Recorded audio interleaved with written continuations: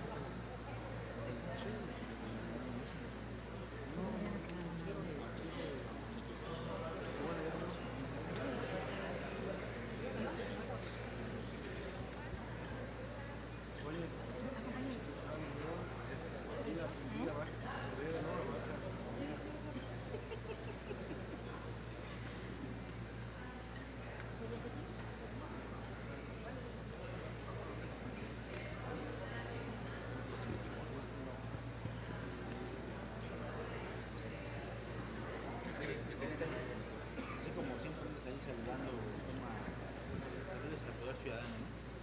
Sensible poder ciudadano. No, poder ciudadano, es otro. A la acción civil.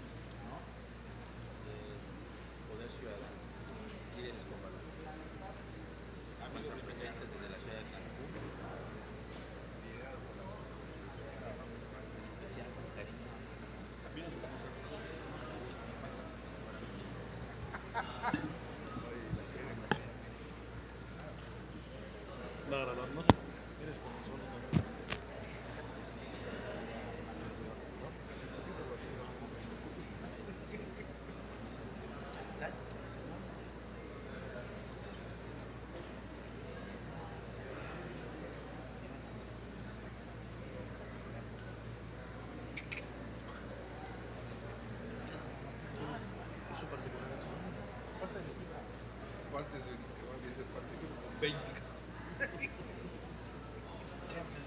Si ayer nomás a Reguín, ¿no? Como con 200 campers allá en la cocina. Como con 200, pero ¿Sí? Reguín. Ya se enteró que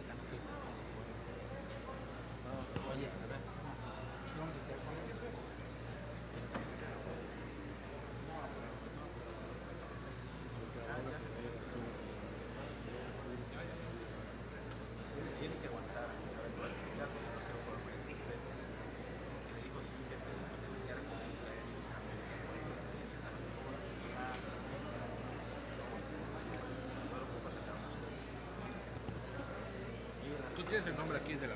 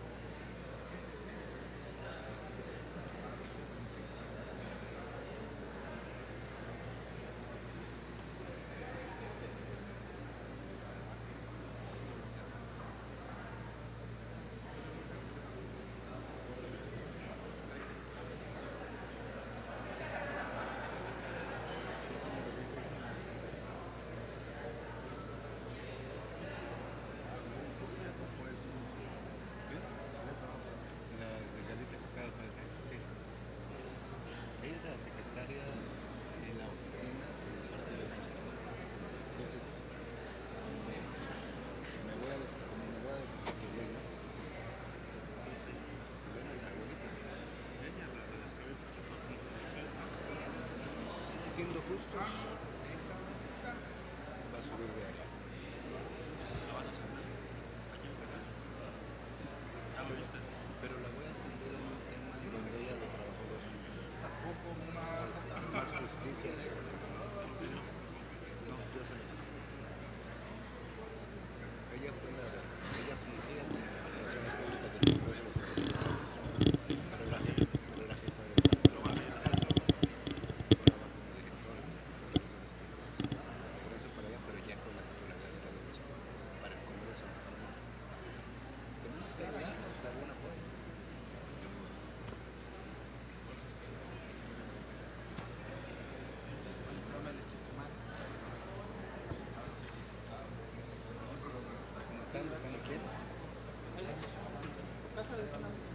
Ver, diputada, para que Ya estamos. Ya estamos.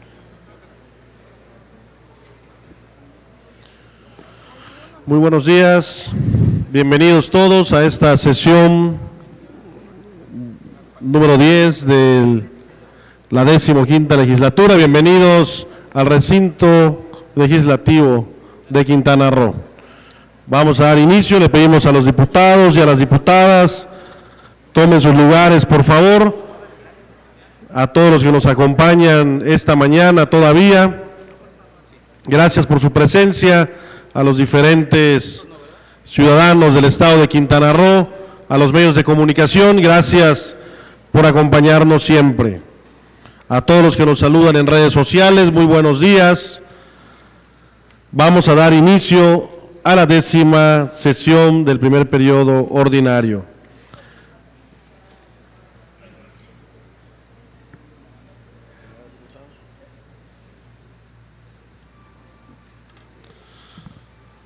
Compañeros diputados y diputadas, público en general que nos acompañan, sean bienvenidos. Diputada secretaria, dé a conocer los asuntos a tratar en esta sesión.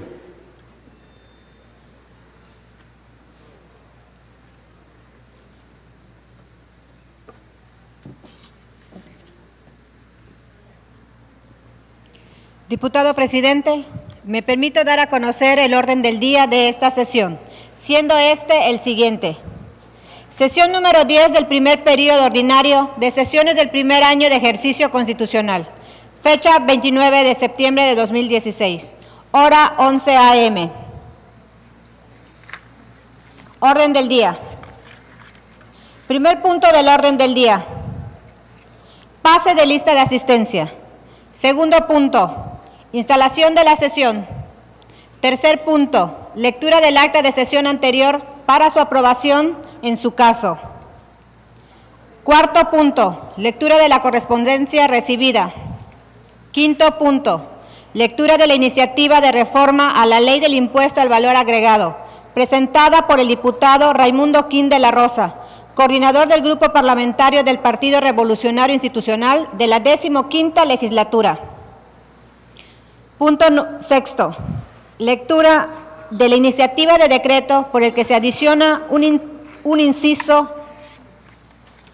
letra N al artículo 168 del capítulo decimosegunda guion A de la Ley de Hacienda del Estado de Quintana Roo, a fin de establecer que el 50% de la recaudación del impuesto sobre hospedaje se destinará para la promoción turística de Quintana Roo y 50% se invertirá en acciones para promover la diversificación de los atractivos turísticos del Estado y obras de infraestructura turística en localidades y municipios con fortalezas culturales e históricas.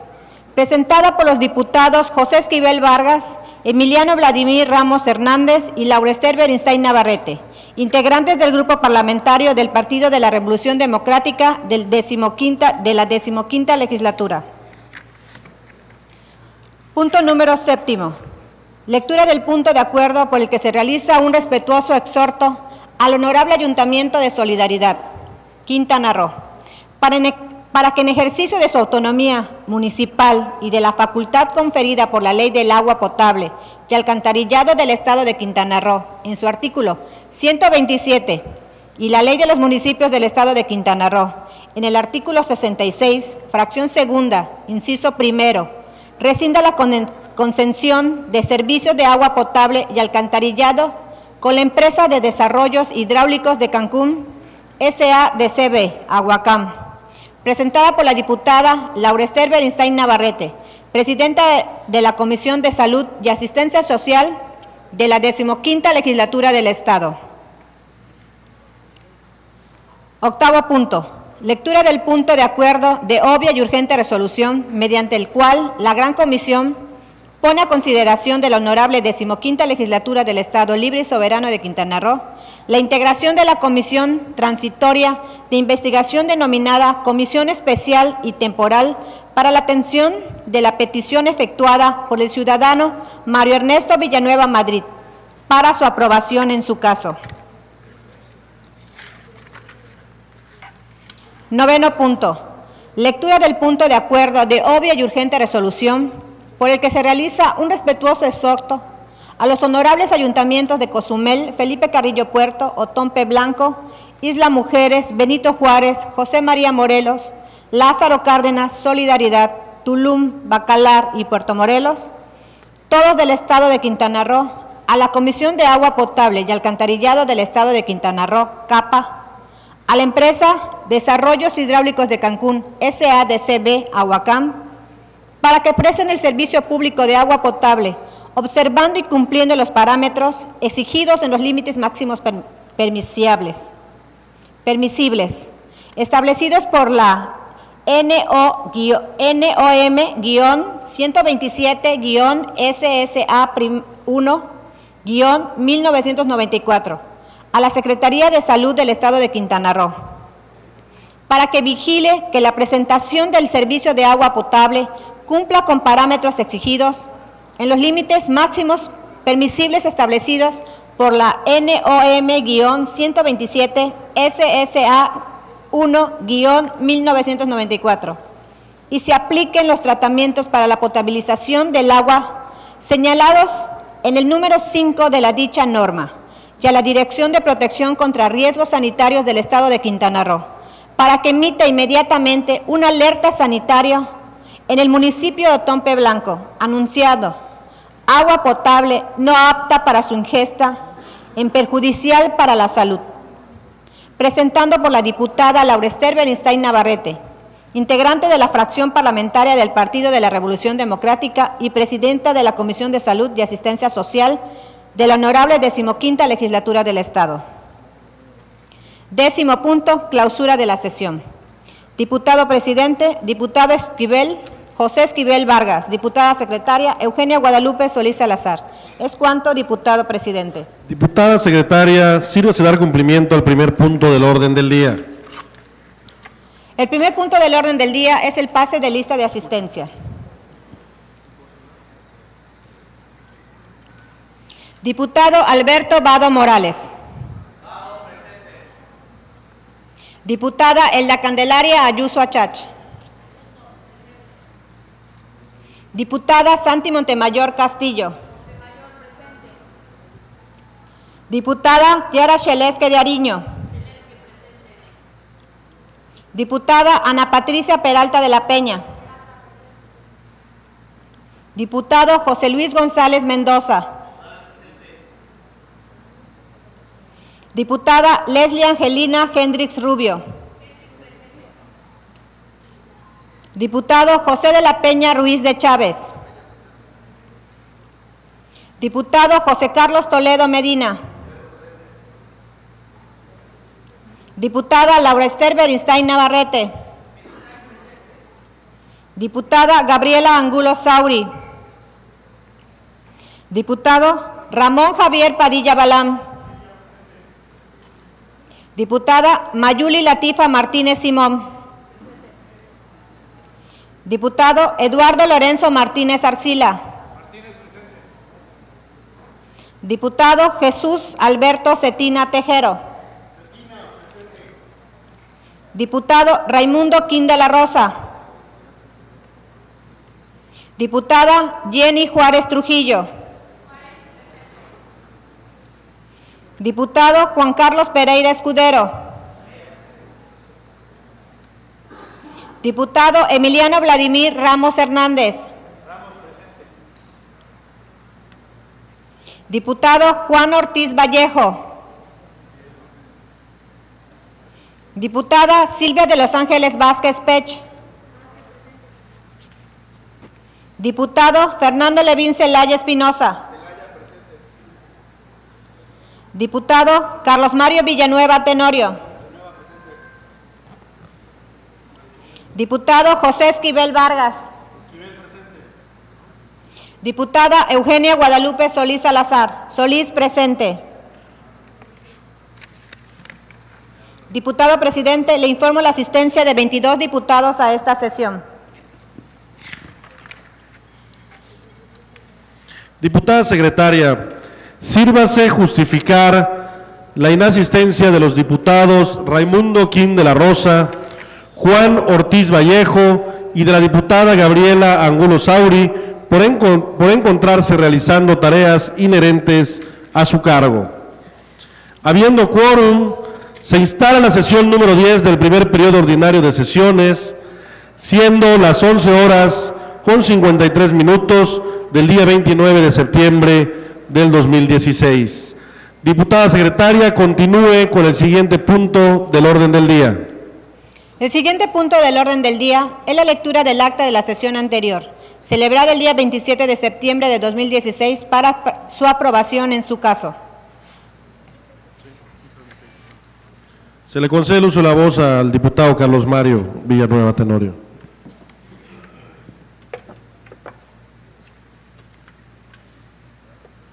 Gracias, señor presidente. Compañeros diputados, solamente para solicitar se dispense la lectura del acta de la sesión anterior, ya que obra en los documentos que tenemos todos los diputados en el sistema web. Muchas gracias, cuanto. Gracias, diputado. Diputada secretaria, ponga a consideración, se dispense la lectura del acta, por favor.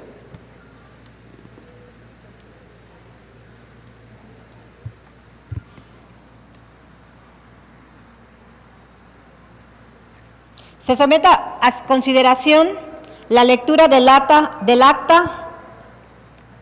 Compañeros diputados.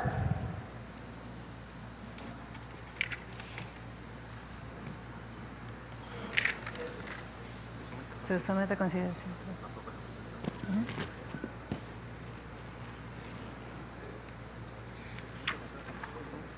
Ya lo fue, ya lo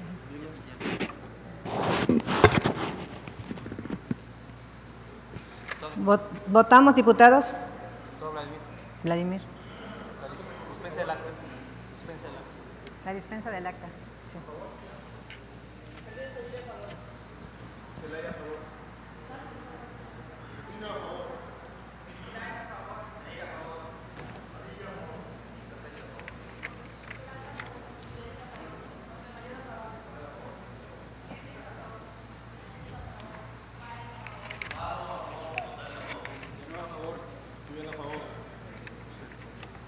Solís a favor. La propuesta ha sido aprobada por unanimidad de los presentes.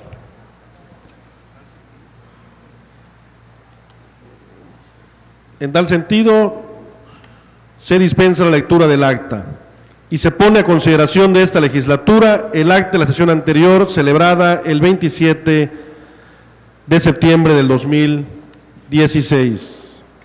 Sirvas, diputada secretaria, sírvase someter a votación el acta presentada. Se somete a votación el acta, el acta de la sesión anterior, por lo que solicito a los ciudadanos diputados emitir su voto. Diputada.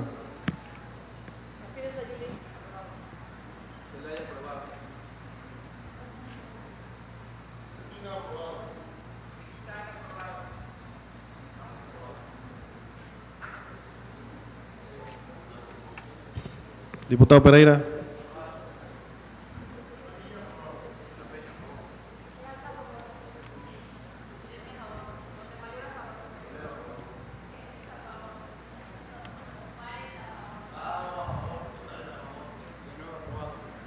Esquivel aprobado. Solís aprobado.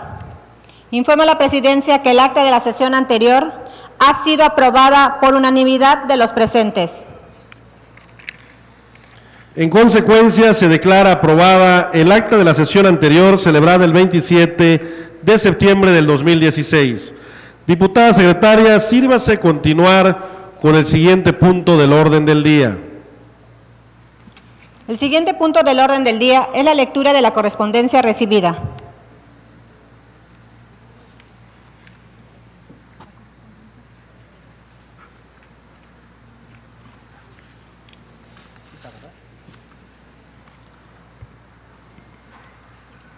Sesión número 10 del primer periodo ordinario de sesiones del primer año del ejercicio constitucional, fecha 29 de septiembre de 2016. Comunicaciones de diferentes legislaturas. Oficio 227-XX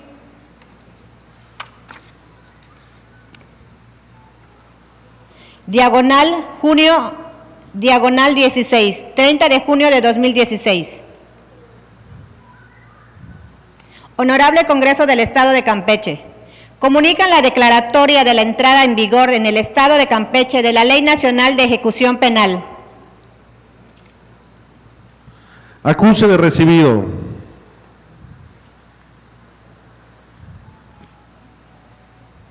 Circular SG, diagonal SG-AP, diagonal 07, diagonal 2016, 30 de junio de 2016.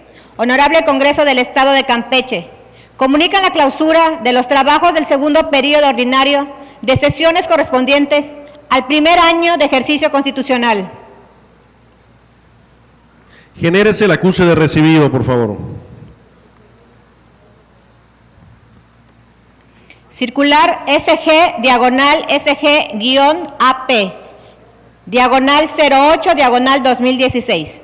Honorable Congreso del Estado de Campeche, comunican a la apertura del segundo periodo de receso del primer año de ejercicio constitucional. Genérese el acuse de recibido.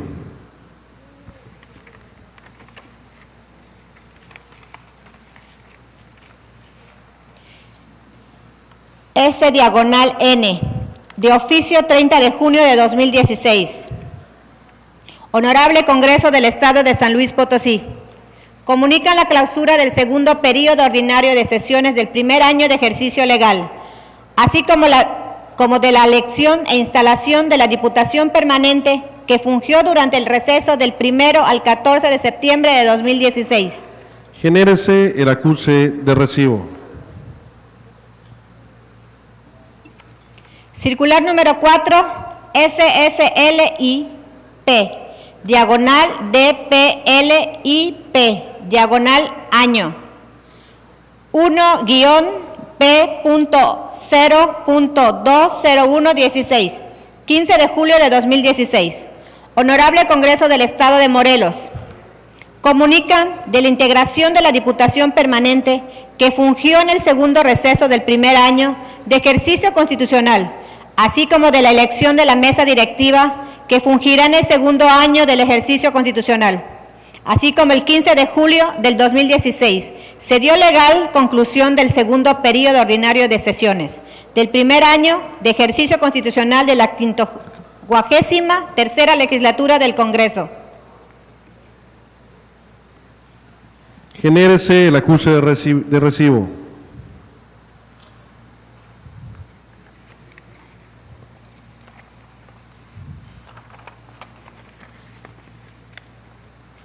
Oficio HCE, diagonal SG, diagonal AT, diagonal 516, 30 de junio de 2016. Honorable Congreso del Estado de Tamaulipas. Comunican la clausura del segun- segundo periodo ordinario de sesiones correspondientes al tercer año de ejercicio constitucional. Genérese el acuse de recibo, por favor. Oficio HCE diagonal SG diagonal AT diagonal 517, 30 de junio de 2016. Honorable Congreso del Estado de Tamaulipas. Comunican la elección de la Diputación Permanente que fungirá durante el segundo periodo de receso del tercer año de ejercicio constitucional. Genérese el acuse de recibo, por favor. Circular 47, primero de julio de 2016. Honorable Congreso del Estado de Oaxaca. Comunican la apertura del segundo periodo ordinario de sesiones del tercer año de ejercicio constitucional y la elección del diputado Palemón Gregorio Bautista como, vicepresidente de la mesa directiva y del diputado Manuel Pérez Morales como cuarto secretario Genérese el acuse de recibo.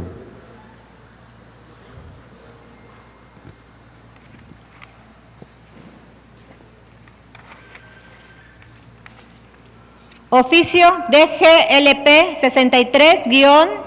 63-11-5-1021, 29 de abril de 2016.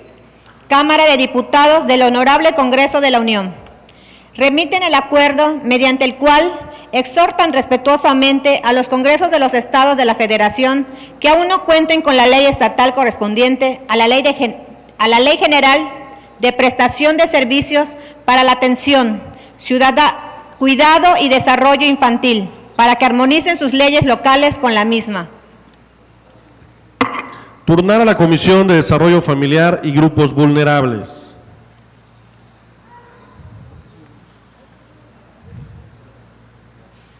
Oficio DGLP 63-11-4-915, 29 de abril de 2016. Cámara de Diputados del Honorable Congreso de la Unión. Remiten el acuerdo mediante el cual exhortan respetuosamente a los congresos de los estados a revisar la legislación penal a fin de considerar incumplimiento a la sentencia de la Corte Interamericana de Derechos Humanos, campo algodonero, la, estan- la estandarización del tipo penal de feminicidio, a fin de ajustarlo a la perspectiva de género a elementos, objetivos que no dificulten su acreditación y a ubicarlo como delito de naturaleza jurídica, autónoma del homicidio, tomando como referencia la descripción típica del artículo 325 del Código Penal Federal. Turnar a la Comisión de Justicia y para la Igualdad de Género, por favor.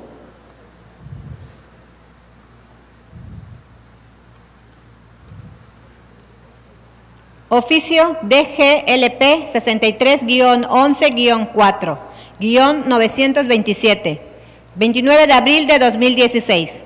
Cámara de Diputados del Honorable Congreso de la Unión. Remiten el acuerdo por el que exhortan a los congresos locales a realizar la armonización legislativa necesaria para dar pleno cumplimiento a las observaciones emitidas del Comité de la CEDAW a nuestro país en el marco noveno del noveno informe de México sobre el cumplimiento de la Convención sobre la eliminación de todas las formas de discriminación contra la mujer.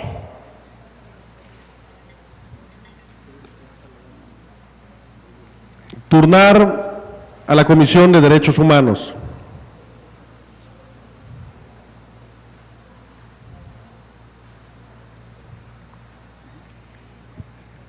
Adelante, secretaria. Y a la de Justicia e Igualdad de Género.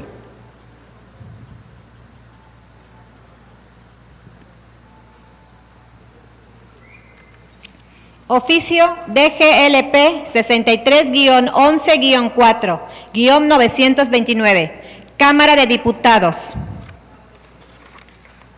del Honorable Congreso de la Unión. Remiten el acuerdo por el que exhortan respetuosamente a los congresos de las entidades federativas a armonizar su legislación con la reforma constitucional por la cual se reconoció el derecho a la, identidad de las personas, a ser registrado de manera inmediata a su nacimiento y la expedición gratuita de la primera copia certificada del acta de registro de nacimiento para hacer efectivo el cumplimiento de estos derechos. Turnar a la Comisión de Derechos Humanos.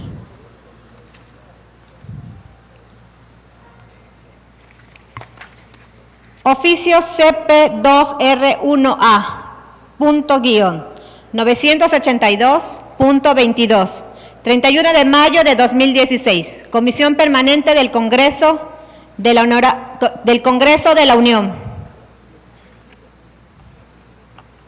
Remiten el acuerdo mediante el cual exhortan a los congresos de las entidades federativas a que en ejercicio de sus atribuciones realicen las reformas legales necesarias en materia civil y familiar para prohibir el matrimonio de personas menores de 18 años de edad y derogar aquellas disposiciones que atenten contra los derechos de niñas y niños y adolescentes. Por favor, diputada secretaria, turnar a las comisiones de Desarrollo Familiar y Grupos Vulnerables y la de Justicia. Es cuanto, diputado presidente. Diputada secretaria, sírvase dar el trámite respectivo, la correspondencia recibida y continúe con el desarrollo de la sesión. El siguiente punto del orden del día es la lectura de la iniciativa de reforma a la Ley de Impuesto al Valor Agregado presentada por el diputado Raimundo Quín de la Rosa, coordinador del Grupo Parlamentario del Partido Revolucionario Institucional de la decimoquinta legislatura.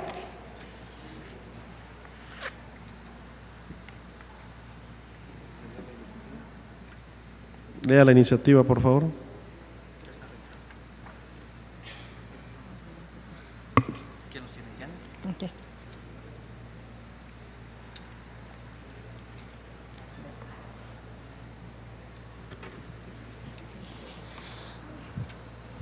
Iniciativa de reforma a la Ley de Impuestos al Valor Agregado, suscrita por el diputado Raimundo Quín de la Rosa, coordinador del Grupo Parlamentario del Partido Revolucionario Institucional.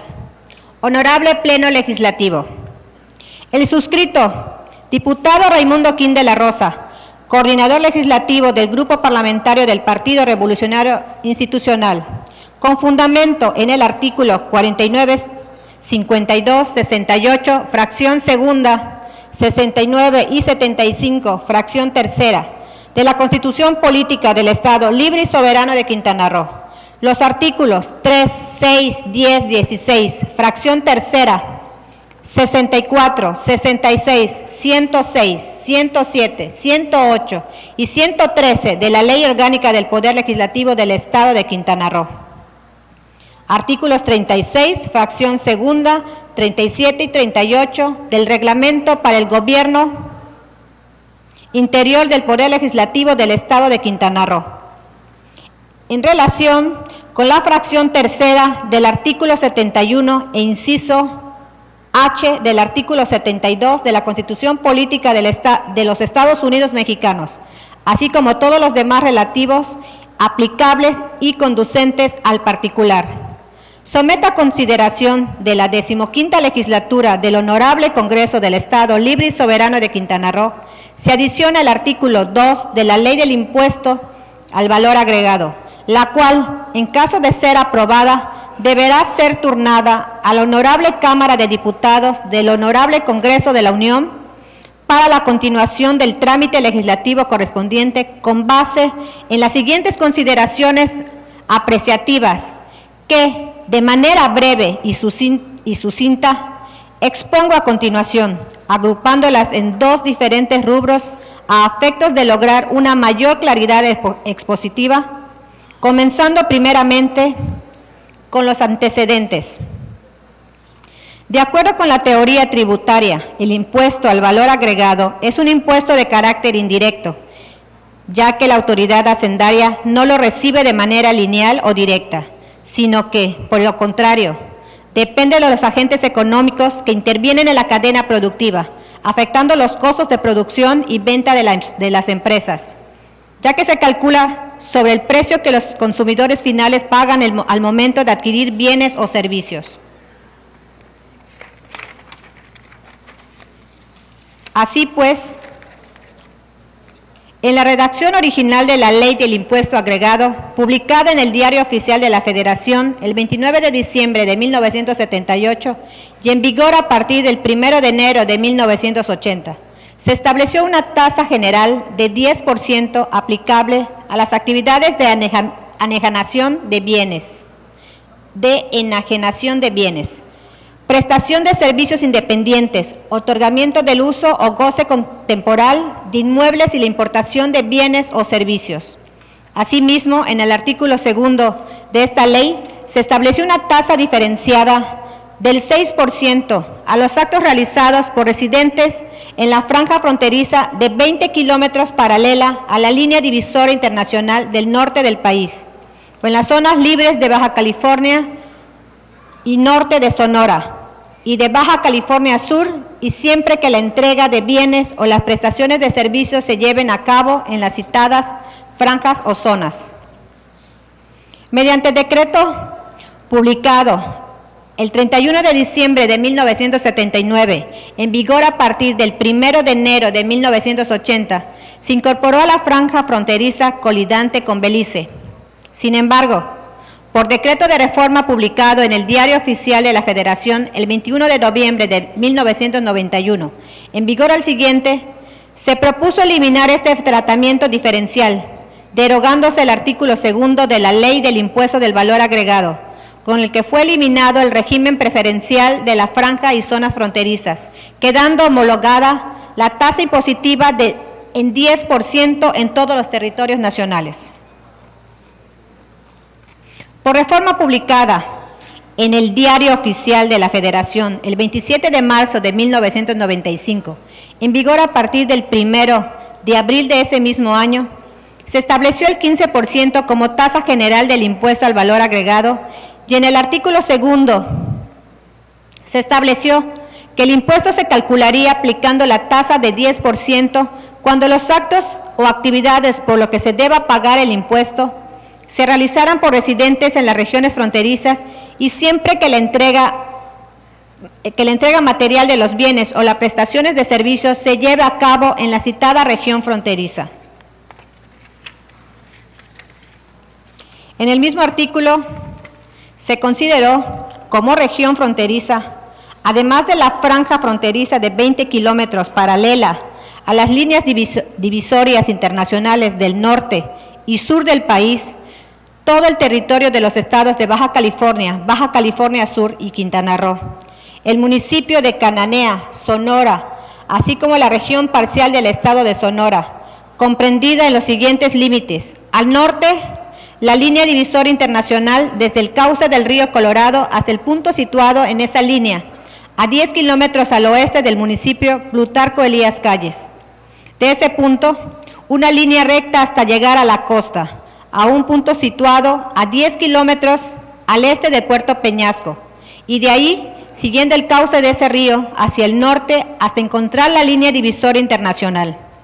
Finalmente, por decreto publicado en el Diario Oficial de la Federación del 7 de diciembre de 2009, en vigor a partir del 1 de enero del 2010, la tasa general de impuesto al valor agregado se fijó en 16%, en tanto que la aplicación aplicable en la franja y zonas fronterizas en términos del artículo segundo de la ley de la materia, se estableció en 11%. Desde la iniciativa presentada por el presidente de la República el 30 de noviembre de 1978, se reconoció la situación de la franja fronteriza norte y de las zonas libres de Baja California y norte de Sonora y Baja California Sur, lo cual motivó que se, que se estableciera un régimen particular en materia impositiva, el cual se hizo extensivo posteriormente al estado de Quintana Roo. Esta situación particular no es otra que evitar que la aplicación del impuesto en las franjas y zonas fronterizas en los mismos términos que, que el resto afecte la competitividad de las empresas ubicadas en ellas, dada la facilidad con que los consumidores preferirían acudir a los países fronterizos favorecidos por tasas impositivas de menor cuantía y con precios finales más competitivos.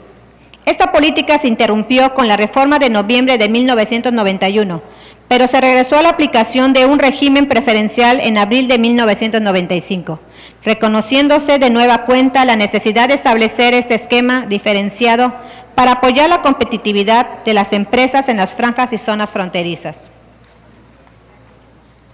En tal orden de ideas, en el marco del Pacto por México, implementado por el presidente Enrique Peña Nieto y con el apoyo de los principales grupos parlamentarios representados en el Honorable Congreso de la Unión, con fecha 8 de septiembre de 2013, el titular del Ejecutivo Federal, como parte de la reforma fiscal, presentó una iniciativa de reformas a la ley del impuesto al valor agregado, misma que se aprobó con fecha 31 de octubre y se publicó el 11 de diciembre del mismo año, la cual entró en vigor a partir del ejercicio fiscal del año 2014.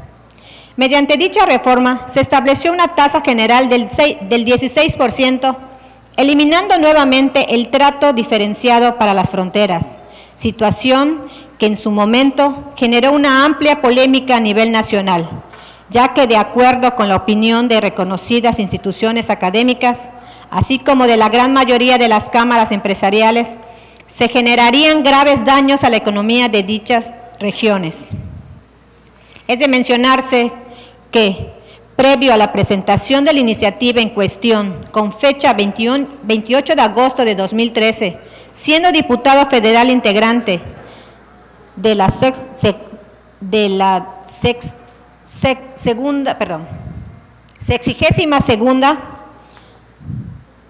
legislatura del Congreso de la Unión, el suscrito presentó junto con los compañeros integrantes de los grupos parlamentarios de los partidos Revolucionario Institucional y Verde Ecologista de México de los estados de Baja California, Chihuahua, Chiapas, Coahuila, Sonora, Tamaulipas y por supuesto Quintana Roo, una proporción con punto de acuerdo para con- conminar al titular del Poder Ejecutivo Federal a mantener el régimen fiscal diferenciado para las regiones y zonas fronterizas. Tal postura fue sostenida por el suscri- suscrito en las sesiones de la Comisión de Presupuesto y Cuenta Pública, de la cual era integrante, en virtud de lo cual participé activamente en la elaboración de los dictámenes de la reforma que nos ocupa, de lo cual obra constancia en los diarios de los debates y demás documentos relativos que puede ser consultados por cualquier interesado en conocer los detalles de dicho proceso legislativo. Sin embargo, en aquel entonces no existía estudios técnicos que sustentaran dichas consideraciones apreci- apreciativas, misma que, desde el punto de vista teórico,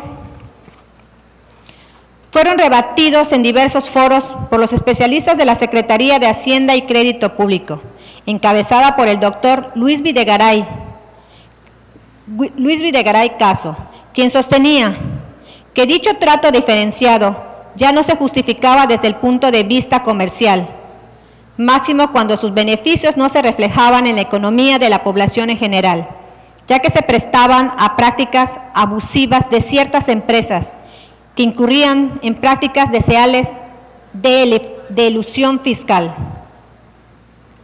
Aunado a lo anterior, se insistía que mediante la eliminación del impuesto empresaria- empresarial de tasa única, así como del impuesto a los depósitos en efectivo, ade- además de otras adecuaciones contenidas en la reforma fiscal en, co- en comento, se compensaría cualquier tipo de afectación marginal de carácter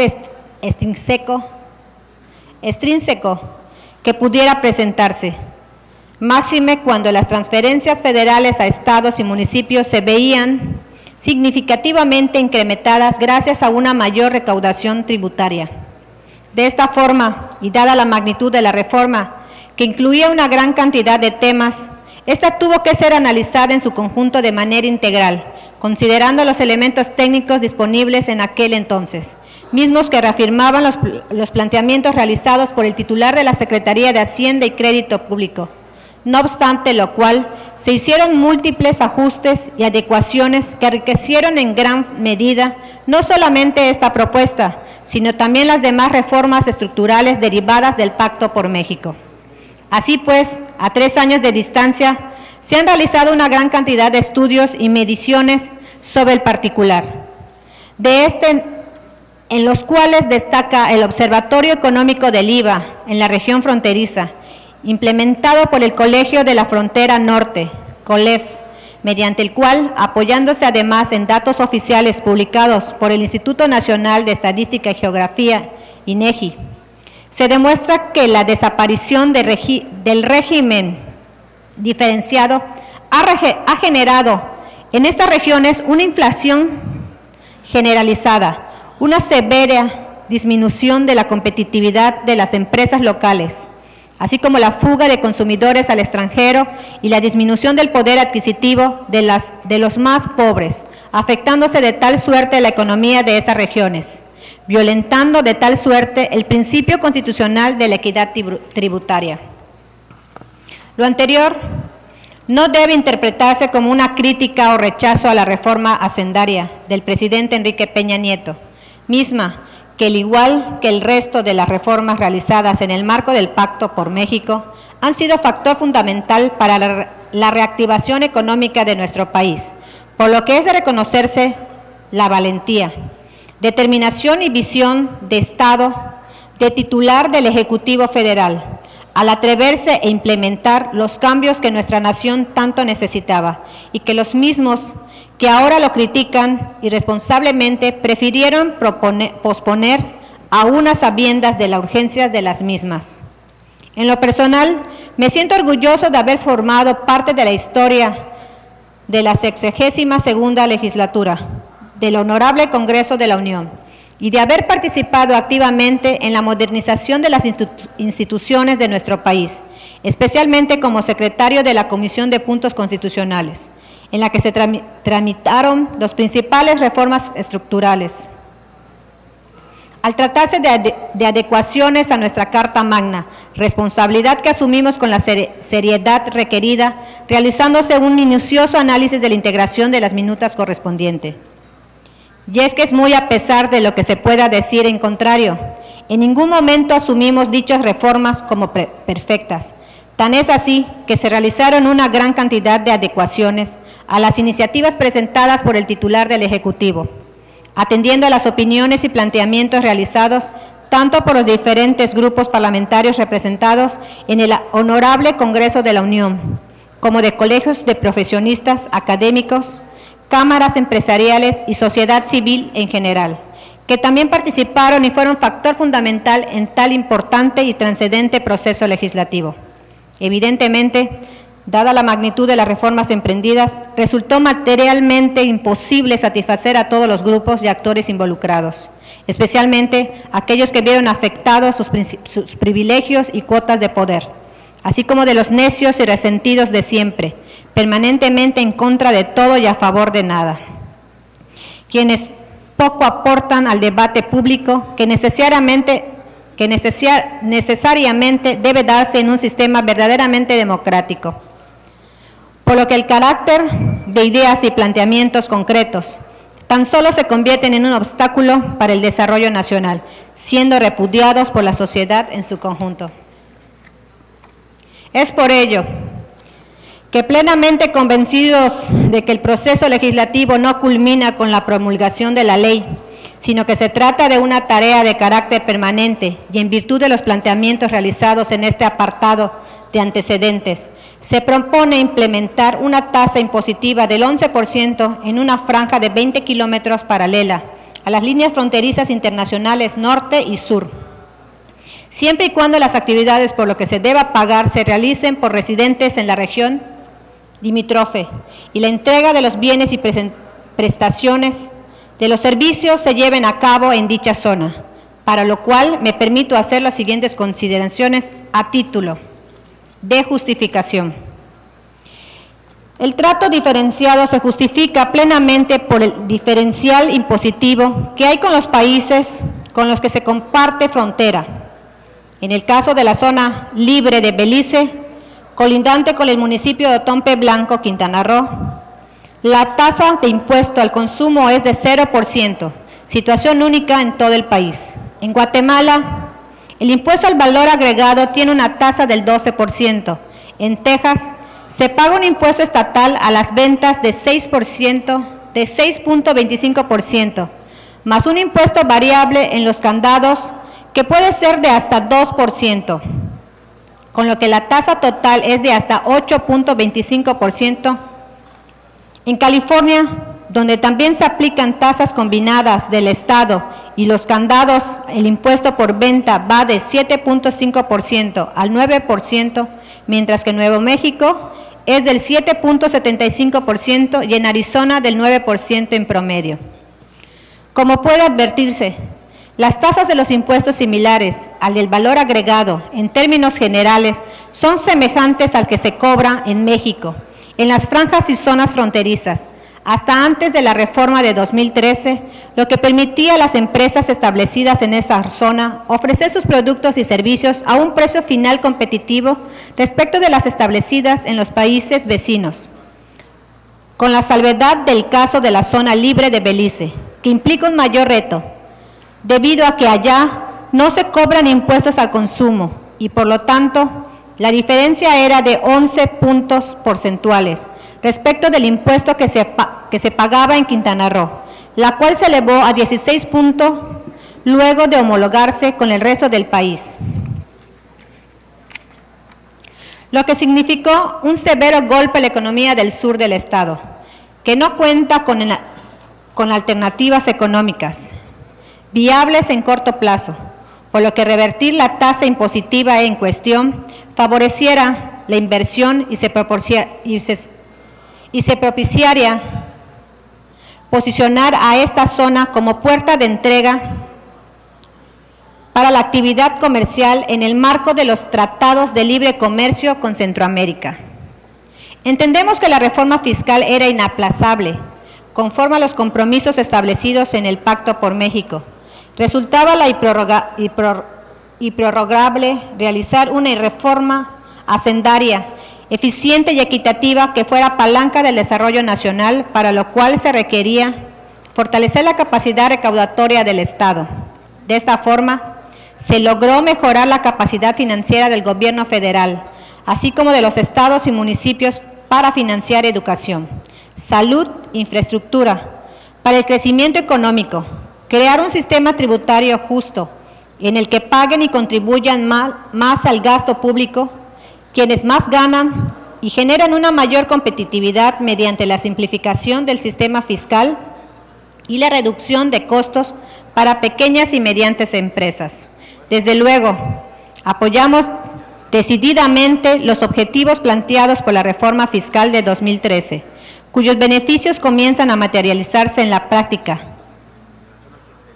pese los, los valvenes de la economía internacional. Sin embargo, consideramos re- relevante hacer un alto en el camino que nos permita analizar detenidamente los verdaderos enlaces de las reformas realizadas y hacer los ajustes pertinentes reconociendo las evidentes diferencias que imperan en las regiones y zonas fronterizas, en virtud de lo cual debe considerarse muy seriamente regresar al régimen especial, en virtud de que este esquema favorece la recaudación fiscal a la vez que estimula la actividad económica y el sustento de la plantilla laboral, pues permite mantener la competitividad de las empresas a esas zonas. En efecto, al ser el impuesto al valor agregado una carga que repercute en el precio final de los bienes y servicios, la homologación de la tasa de la que se aplica el resto del país definitivamente no significó una mejora en la recaudación, sino que por el contrario, desalentó al consumo de esas zonas, ya que los consumidores optaron por acudir a los negocios ubicados al otro lado de las fronteras, buscando las mejores condiciones de compra. En tal orden de ideas, no solamente se afectó la actividad económica de las empresas ubicadas en las regiones y zonas fronterizas a ver disminuidas sus ventas, sino que llevó a la pérdida masiva de empleos y a desalentar la inversión productiva y el intercambio comercial, lo que finalmente provocó un efecto contrario al deseado, pues con la caída en las ventas también se generó una disminución de la recaudación neta. Los impuestos como instrumentos de la política económica del Estado no sirven únicamente para recaudar recursos, sino como atinadamente se, se delineó en la reforma fiscal en momento, como medio para fomentar la competitividad de los diferentes actores económicos, buscando generar un círculo virtuoso que contribuya a mejorar también las condiciones de vida y bienestar social de la colectividad en general. No se trata de mantener tratos privilegiados para algunas regiones del país, sino de reconocer la realidad económica y la, y la simetría fiscal de las regiones fronterizas con las de nuestros vecinos, en las que la cercanía de negocios con regímenes fiscales más atractivos coloca a las empresas ubicadas en México en condiciones de desventaja que es necesario atenuar, regresando al esquema fiscal que operó con anterioridad. Debo insistir nuevamente y tantas veces como sea necesario que la presente iniciativa de ninguna manera pretende ni debe ser interpretada como una crítica a la reforma fiscal del 2013, ni mucho menos como un intento de excusar mi participación en su trámite como legislador federal, sino que a la luz de la reciente evidencia empírica generada en la práctica cotidiana, así como de los múltiples estudios técnicos realizados por reconocidas instituciones académicas sobre el particular, pero sobre todo atendiendo a mi, a mi a mi inefudible responsabilidad como diputado local y tomando en cuenta que el proceso legislativo es por definición un trabajo inacabado y que las leyes deben adaptarse y actualizarse constantemente para reflejar fielmente la realidad de la sociedad que pretenden. que pretenden regular, que me permito proponer la modificación de un punto en particular de la reforma fiscal que evidentemente no produjo los resultados esperados. Finalmente, y, al tratarse de un tema de vital importancia para la zona sur del Estado, hago un respetuoso llamado a las y los diputados que conforman a esta honorable Asamblea a no politizar innecesariamente el presente asunto, apelando a la madurez, responsabilidad y compromiso social que hasta el momento ha sido el sello distintivo de esta honorable decimoquinta legislatura. Por todo lo anterior, por todo lo anteriormente planteado en los apartados que anteceden, me permito someter a la consideración de esta honorable Asamblea el siguiente decreto. Primero, se adiciona el artículo 2 de la Ley del Impuesto al Valor Agregado para quedar como sigue. Artículo 2 del impuesto. Artículo 2. El impuesto se calculará aplicando la tasa de 11% a los valores que señala esta ley. Cuando los actos o actividades por lo que se debe pagar al impuesto se realicen por residentes en las regiones fronterizas y siempre que la entrega material de los bienes o la prestación de servicios se lleva a cabo en la citada región fronteriza tratándose de importación, se aplicará la tasa de 11%, siempre que los bienes y servicios sean enajenados o prestados en la mencionada región fronteriza. Tratándose de la enajenación de inmuebles en la región fronteriza, el impuesto al valor agregado se calculará aplicando el valor que señala esta ley, la tasa del 16%. Para efectos de esta ley, se considera como región fronteriza la franja de 20 kilómetros paralela a las líneas divisorias internacionales del norte y sur del país. Transitorio, único. Los efectos fiscales del presente decreto entrarán en vigor a partir del primer día del mes de enero del ejercicio fiscal del año 2017. Segundo, túrnese la presente iniciativa de la ley a la Honorable Cámara de Diputados del Honorable Congreso de la Unión para la continuación del trámite legislativo correspondiente, dando en el recinto legislativo de la ciudad de Chetumal, capital del Estado libre y soberano de Quintana Roo, a los 27 días del mes de septiembre de 2016. Diputado Raimundo Quín de la Rosa. Es cuanto, diputado presidente. Gracias, diputada secretaria sírvase turnar la iniciativa presentada a las comisiones de Hacienda, Presupuesto y Cuenta y a la de puntos legislativos y técnica parlamentaria para su estudio, análisis y posterior dictamen. Se le concede el uso de la voz al diputado Cetina.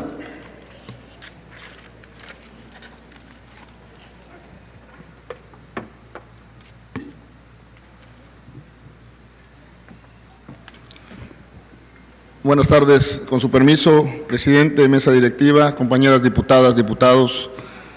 He puesto puntual atención en lo que la iniciativa que presenta el compañero diputado Raimundo Quín y entre lo que menciona habla del Pacto por México en el que el presidente de la República, Enrique Peña Nieto, precisamente entre otras reformas sugiere y manifiesta la homologación del IVA en las zonas fronterizas al 16%.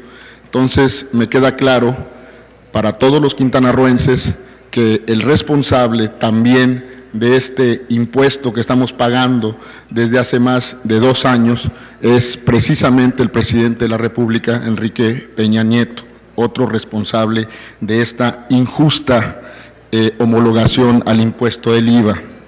Quiero aclarar con toda justicia y pido el uso de esta tribuna en nombre de los diputados federales de Acción Nacional y de los senadores de Acción Nacional.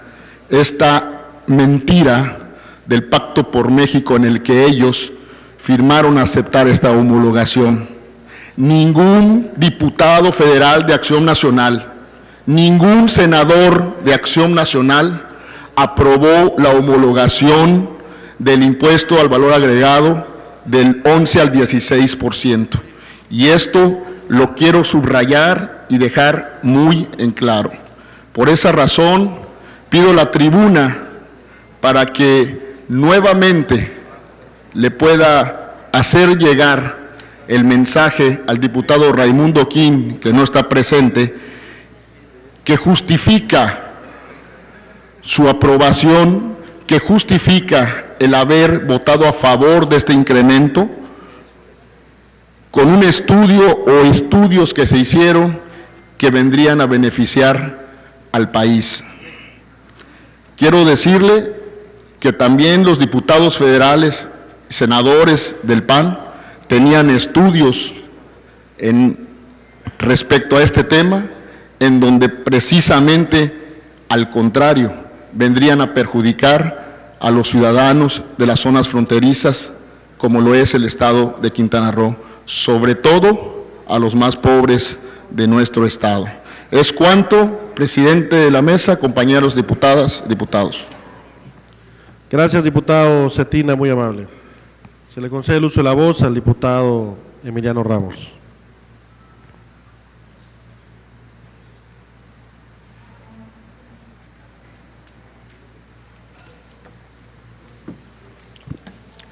Con la venia del presidente. Buenas tardes, compañeras y compañeros diputados. También con, con respecto a esta iniciativa que se presenta en esta soberanía para modificar el impuesto al valor agregado para el Estado de Quintana Roo, leo en los antecedentes que se habla de que dentro del, del Pacto por México se aprueba en el paquete fiscal y en la, ley aumentar el IVA en el Estado de Quintana Roo. Al respecto, me, me permito precisar que para ese entonces la diputada federal por el Estado de Quintana Roo, la compañera Graciela Saldaña, votó en contra de este incremento del IVA para el Estado de Quintana Roo. Y la senadora Luz María Beristain, también senadora por Quintana Roo y representante del PRD, también votó en contra de este incremento. Si bien es cierto que la dirigencia nacional de mi partido apoyó este pacto por México, también es cierto que en la democracia que vivimos en el interior del PRD podemos tomar nuestras propias decisiones, particularmente muchos perreístas del país y los perreístas de Quintana Roo no estuvimos a favor de que nuestro partido suscribiera este llamado Pacto por México, que conlleva un número de reformas dañinas para nuestro país e impulsadas por Enrique Peña Nieto. En ese sentido, en su momento, los perreístas de Quintana Roo nos manifestamos en contra del Pacto por México y nuestras legisladoras votaron en contra, particularmente del tema de incrementar el IVA en el estado de Quintana Roo. Me permito hacer esta precisión porque en esta iniciativa, donde el suscrito trata de justificar y se dice orgulloso de este incremento en el IVA, de este, este paquete que, in- que incluye el, el aumento del IVA en el estado de Quintana Roo, me parece que no hay que meterlos a todos ni medirlos con la misma vara. Las legisladoras del PRD, en contra de la cúpula del propio partido, votaron en contra del IVA, de aumentar el IVA para el estado de Quintana Roo. Es cuanto. Gracias, diputado Emiliano. Diputada secretaria, continúe con el siguiente punto del orden del día.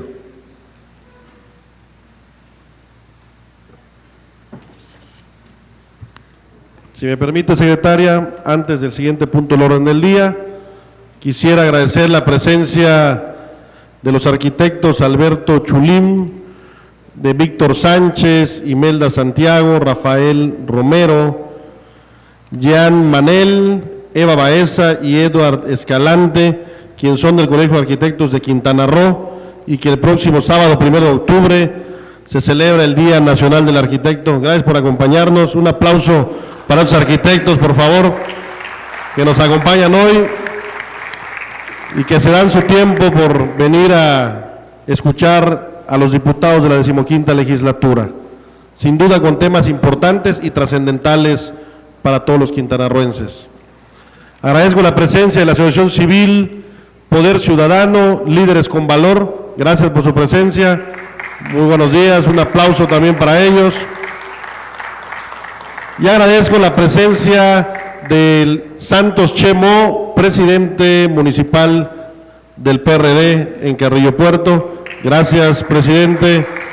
Y la secretaria del PRD municipal de Cozumel, Abigail Elías Buces. Muchas gracias, bienvenida a esta sesión de la decimoquinta legislatura. Diputada secretaria, continúe con el siguiente punto del orden del día.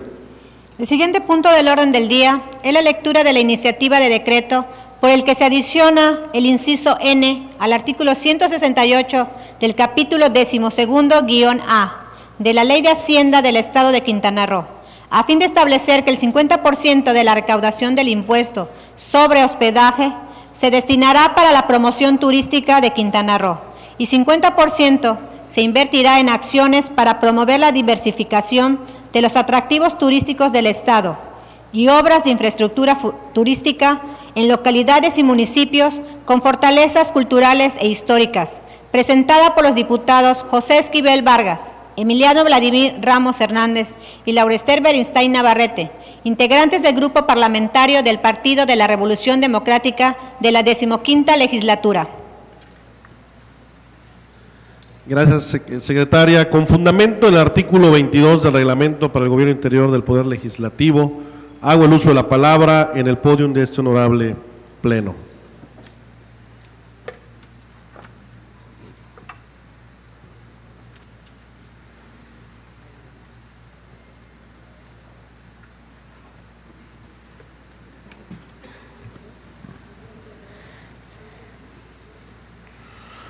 Los suscritos diputados integrantes del grupo parlamentario del Partido de la Revolución Democrática, José Esquivel Vargas, Emiliano Vladimir Ramos Hernández y Laurester Benistain Navarrete, en ejercicio de la facultad que nos confiere la fracción segunda del artículo 68 de la Constitución Política del Estado, nos permitimos someter a consideración de esta honorable decimoquinta legislatura del Estado la siguiente iniciativa de decreto por el que se destina el 50% de la recaudación del impuesto al hospedaje para promoción turística de Quintana Roo y el 50% para promover la diversificación de los atractivos turísticos del Estado, obras de infraestructura turística y de beneficio social en localidades y municipios con fortalezas culturales e históricas del Estado de Quintana Roo, conforme a los siguientes puntos. El 18 de enero de 1996, con la expedición de del decreto número 161, la legislatura del Estado aprobó la adición de diversos conceptos de la Ley de Hacienda del Estado, mediante el cual se estableció un impuesto a la prestación del servicio de hospedaje y a la concesión de derechos de usufructo en tiempo compartido. Entre los argumentos que se formularon para justificar la creación de la referida contribución se sostuvo que con motivo de las reformas de la ley del impuesto al valor agregado, específicamente en sus artículos 41, fracción 1 y novena de la fracción segunda transitorio, las entidades federativas adquieren la posibilidad de grabar la prestación de servicios de hospedaje y la concesión de derechos de usufructo en tiempo compartido sin contravenir el convenio de adhesión del Sistema Nacional de Coordinación Fiscal. Con fecha 22 de agosto del mismo año, mediante la expedición de decreto número 23, la legislatura aprobó la reforma al artículo segundo transitorio, transitorio del decreto 001, relacionado con el antecedente anterior por el cual el impuesto al hospedaje se calculará aplicando la tasa del 2% sobre el valor de facturación y o contratación de los servicios lo cual se justificó fundamentalmente en la consideración de que la disminución de la tasa del impuesto al hospedaje permitiría fomentar el desarrollo turístico de nuestra entidad. Mediante el decreto 31, publicado en el periódico oficial del Gobierno del Estado, de 22 de noviembre de 1996, la legislatura aprobó diversas reformas y adiciones a la Ley de Hacienda del Estado. En su capítulo relativo al impuesto al hospedaje, con el objeto de otorgar mayor precisión a algunos conceptos comprendidos dentro del contexto del referido tributo, a fin de excluir de, excluir de este conceptos como la alimentación, el transporte y la concesión de derechos de usufructo. El 3 de diciembre de 1996 se publicó en el periódico oficial del Gobierno del Estado el decreto por el Ejecutivo del Estado, por el que se constituye el Fideicomiso de Promoción Turística de los municipios de Benito Juárez, Cozumel, Isla Mujeres, Solidaridad y Otompe Blanco. La creación de este fideicomiso atendió básicamente a que los empresarios del sector turístico, ante la competencia en promoción que los países de la región del Caribe despliegan a atraer, atraer turismo, siendo nuestro un destino con alta vocación. No se había definido un esquema que les permitiera desarrollar adecuadamente la promoción turística y, que, a que para ello se requería de financiar con oportunidad y suficiencia las campañas publicitarias, para lo cual, según asienta el referido decreto, el gobierno contaba con recursos fiscales en apoyo para sufragar su costo. En este sentido, los objetivos y fines del fideicomiso que fijó el citado decreto se orientaron a la realización de campañas de promoción y publicidad turística a nivel nacional e internacional, estudios e investigaciones que apoyen de forma la toma de decisiones estratégicas en todo lo referente al comportamiento de la actividad turística obras de infraestructura, imagen, equipamiento urbano y prestación de servicios públicos que se requieran en los municipios del Estado, así como la prestación de servicios de información, apoyo, asistencia para los turistas y a cubrir las aportaciones del Gobierno del Estado y de la iniciativa privada al Fondo Mixto de Promoción Turística. Asimismo, el decreto de referencia dispuso que un 97% de los recursos feidecomitidos se destinarán a la, consecución de los fines del fideicomiso y hasta un 3% para cubrir gastos de administración del fideicomiso. Es indudable que el motor del desarrollo del Estado es y será el turismo, actividad que indiscutiblemente debe ser apoyada y fomentada, ya que permite asegurar el ingreso de divisas y la generación de empleos que permiten el fortalecimiento de la economía en la entidad. La promoción y la publicidad es hoy en día una estrategia de mercadotecnia bastante efectiva para atraer visitantes a nuestros centros turísticos que son productos y ofrecemos al turismo extranjero. Y por supuesto, nacional. Y que para permanecer en una constante competencia con los destinos del mundo requiere de una inversión de recursos que promuevan los atractivos de playas, mar, hoteles, zonas arqueológicas, historia y cultura, entre otros. Así, desde su implementación en 1996, la recaudación del impuesto al hospedaje, si bien es cierto, porcentaje se ha canalizado hacia los fideicomisos de promoción turística con el objetivo de destinarlo al financiamiento y pago de actividades vinculadas a la publicidad y promoción, perviven muchas dudas y algunas respecto a su total aplicación y destino. Es decir, no existe claridad y transparencia en el origen y destino de estos recursos. Tan solo para este año 2016, de acuerdo a la Ley de Ingresos de nuestro Estado, publicado en el periódico oficial el 15 de diciembre del 2015, se estima recaudar por concepto del impuesto al hospedaje 737 millones 58 mil 35 pesos. Se los voy a repetir para quienes no están poniendo atención. 737 millones 58 mil 35 pesos. Una cantidad bastante onerosa, la cual hoy se tiene dudosa, eh, información del destino de estos recursos.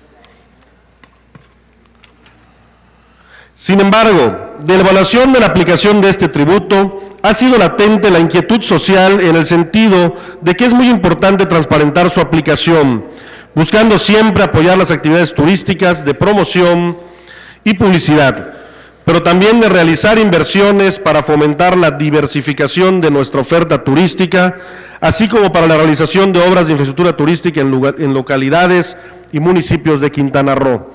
Que cuenten con vocación turística y fortalezas históricas y culturales, lo cual nos permitirá incorporar de manera equilibrada el desarrollo a otras regiones con demandas ancestrales.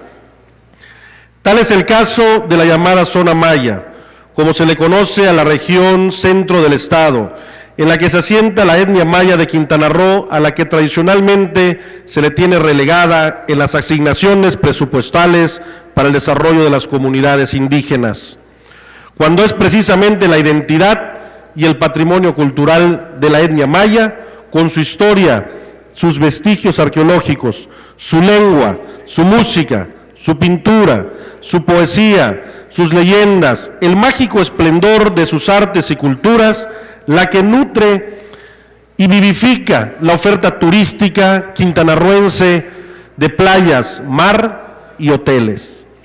La contradictoria realidad de la etnia maya se profundiza ante la visión contrastante que presenta el desarrollo del sector turístico, que coloca a Quintana Roo como una de las entidades de mayor dinamismo y de más alto potencial de México.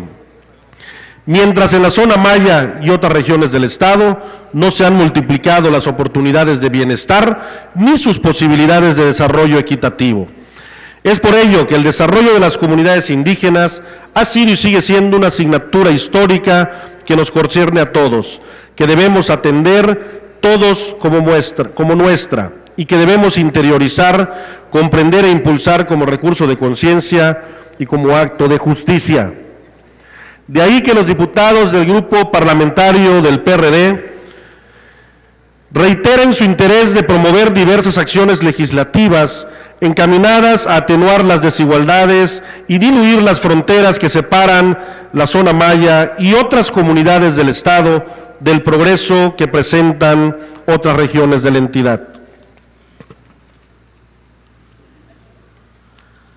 Si bien el artículo 31, fracción cuarta de la Constitución General de la República señala que es obligación de los mexicanos contribuir para los gastos públicos, así de la Federación como del Distrito Federal o del Estado y municipios en que residan, de la manera proporcional y equitativa que dispongan las leyes, y esta disposición se ha interpretado en el sentido de que la recaudación de un impuesto no se puede designar a un fin específico. Aseveración está que recoge el artículo 3, fracción primera del Código Fiscal del Estado.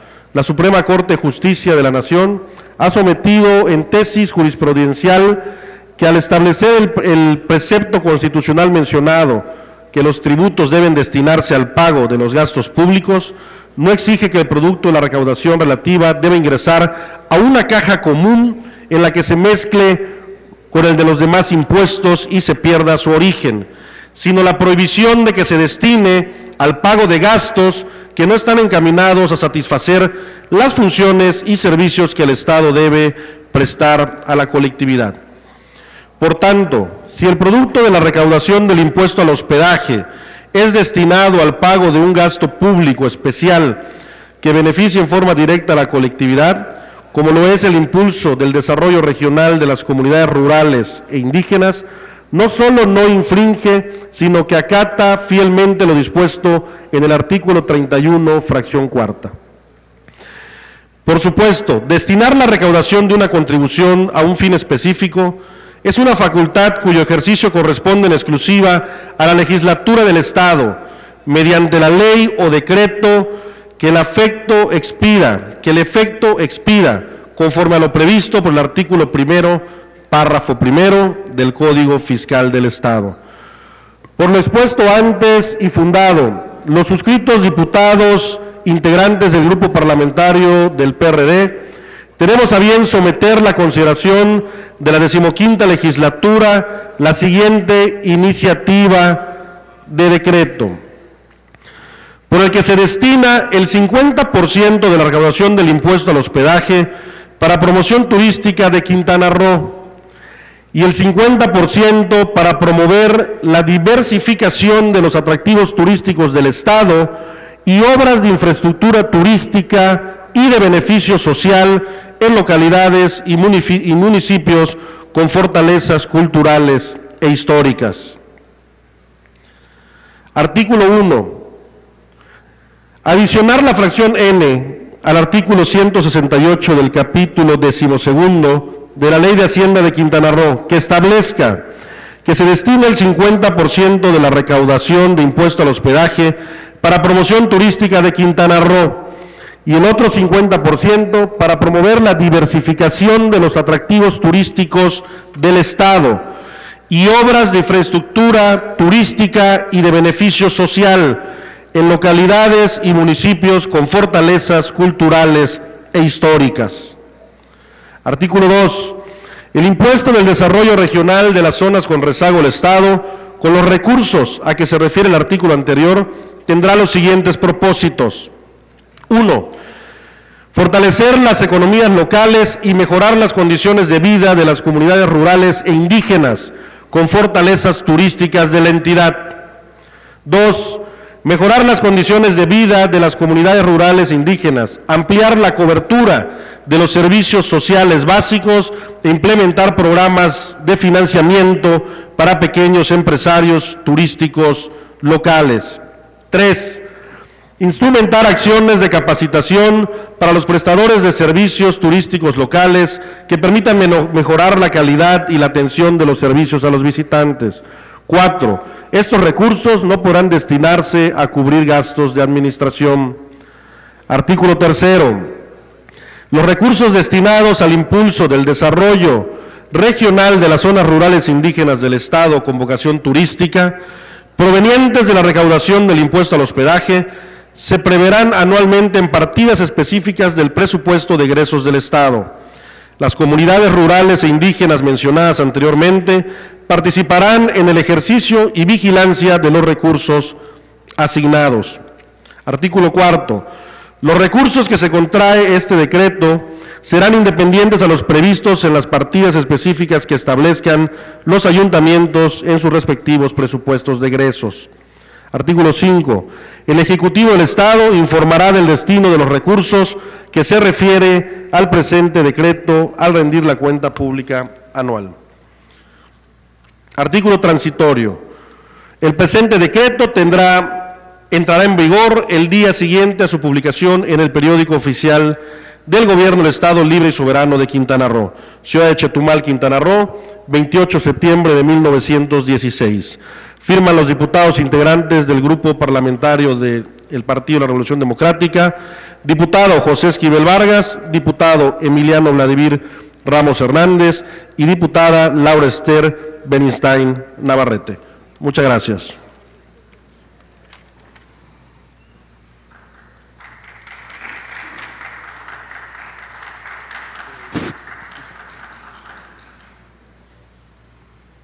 Diputada secretaria, sírvase turnar la iniciativa presentada. Adelante, diputada, se le concede el uso de la palabra.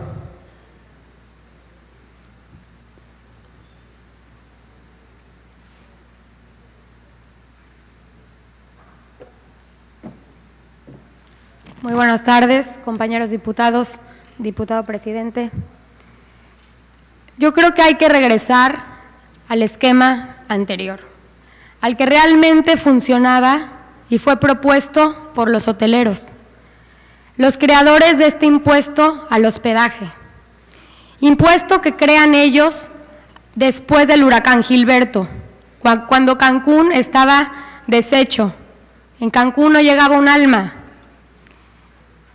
y es por eso que ellos crean este impuesto al hospedaje. El 3% de cada turista que llega al año, que llega y paga este impuesto día a día. Los integrantes de la Asociación de Hoteles hacen, dan la idea de hacer este fondo para la promoción del destino. El esquema inicial era un 80% promoción turística y un 20% para infraestructura turística, exclusivamente infraestructura turística de cada uno de los municipios.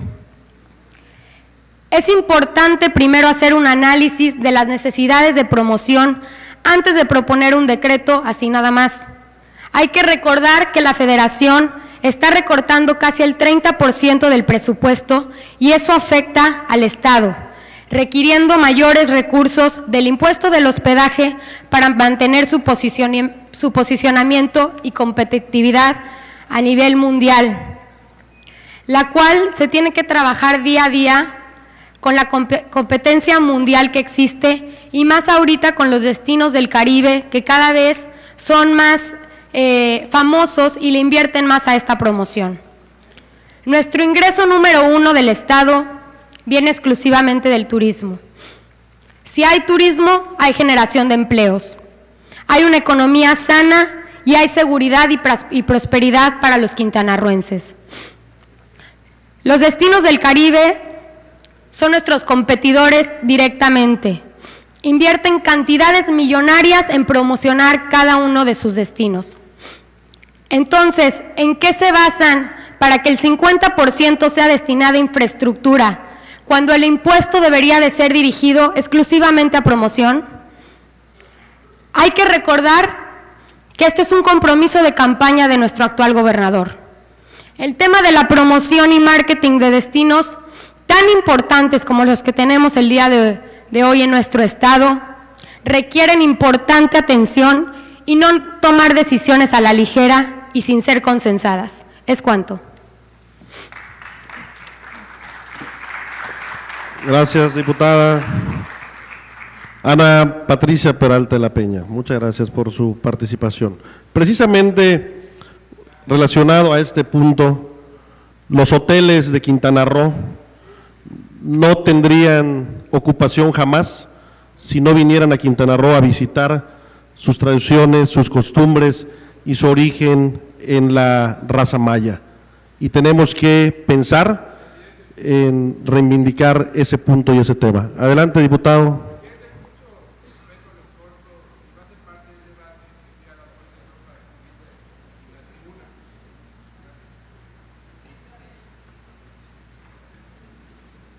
Sí, para continuar con el siguiente punto del orden del día. Es suficiente, diputado, no se preocupe. Para continuar con el siguiente punto del orden del día, eh, antes sigo el siguiente punto del día, agradecemos la presencia del regidor suplente electo José María Morelos Santos Francisco U. Cáceres, de Encuentro Social. Bienvenido a esta sesión de la decimoquinta legislatura. Diputada secretaria, sírvase turnar la iniciativa presentada a las comisiones de Planeación y Desarrollo Económico. Pepe La Peña, adelante diputado, se le concede el uso de la voz.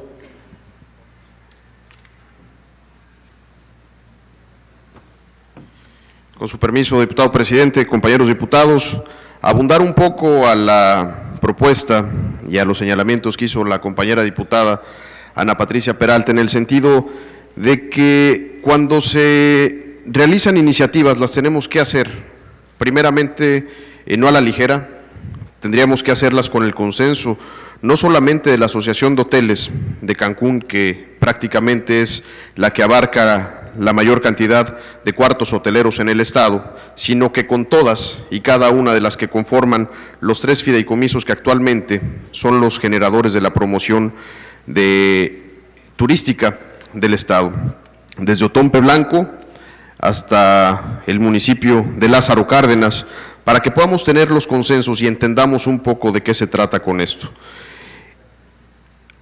Han habido, desde que se inició la transición del gobierno, muchos señalamientos sobre el impuesto al hospedaje. Un impuesto que, como lo comentaba el diputado Esquivel, genera más de 700 millones de pesos que los turistas que vienen al municipio eh, de Benito Juárez, en este caso, al municipio de Tompe Blanco y a todos los lugares donde, donde se genere el hospedaje, aportan el 3% de los del costo que tienen por la renta de la habitación.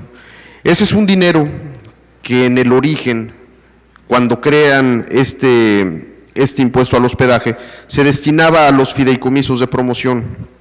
Desafortunadamente, en el camino de las modificaciones legislativas, se deja al libre albedrío de la Secretaría de Finanzas el destinar ese recurso parte para promoción, etiquetándolo con cantidades, eh, en este caso, eh, que rondaban de aproximadamente los 300 millones de pesos entre los tres fideicomisos, dejando el uso libre de 400 millones que se perdían desafortunadamente en el gasto corriente.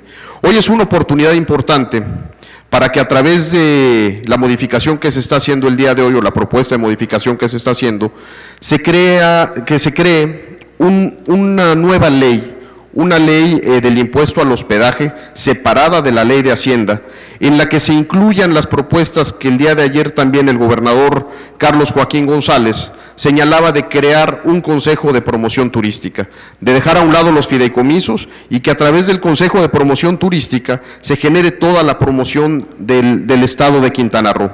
Vienen tiempos difíciles, eh, anunciaba en su visita el secretario de la Madrid, del secretario de Turismo Federal, de que iban a haber eh, cerca del 30% de los recortes presupuestales que impactan directamente en la promoción del Estado de Quintana Roo. La competencia de Quintana Roo viene fuerte con las islas del Caribe, con Cuba, eh, con Santo Domingo, que son los principales competidores, y si no hacemos un frente común, el que tengamos los recursos etiquetados para que se pueda generar la promoción y que Quintana Roo participe en las ferias turísticas que tanto beneficio le ha traído al Estado, que tengamos los recursos primero para asistir y en segundo término para que podamos promover a nuestro Estado. Tenemos que hacer una modificación integral. No, no veo mal yo el que se atienda a la zona maya. Por supuesto que tenemos que destinar recursos para generar una mejor infraestructura en las comunidades mayas, pero para eso tenemos que tener y diferenciar de qué recursos de la federación que podemos bajar para las etnias mayas, que podemos bajar para la promoción de esos diferentes lugares. Hay fondos metropolitanos que podemos aprovechar, hay diferentes fondos que si los logramos a través de las gestiones de este gobierno en el Congreso Federal, vamos a poder tener, por un lado, la atención a las comunidades y por otro lado, garantizar que nuestro Estado no pierda los recursos suficientes para la promoción. Así que yo, yo le pido, compañeros o compañeros diputados que presentan esta iniciativa, el que nos acerquemos con los diferentes actores en materia turística para que podamos enriquecer esta propuesta y que no una buena iniciativa o una iniciativa con buenas intenciones, al final de cuentas, no vamos a saber si ese 50%, que son más de 300 millones de pesos, realmente van a impactar o realmente los van a ejercer en infraestructura para las comunidades mayas. Así que creo que es una oportunidad importante para garantizarle a Quintana Roo el que tengamos una buena promoción, el garantizarle a Quintana Roo que tengamos los elementos suficientes para que siga siendo el Estado de generador de las divisas principales en materia turística de la Federación. Es cuanto, compañeros diputados. Diputado Zelaya, tiene el uso de la voz.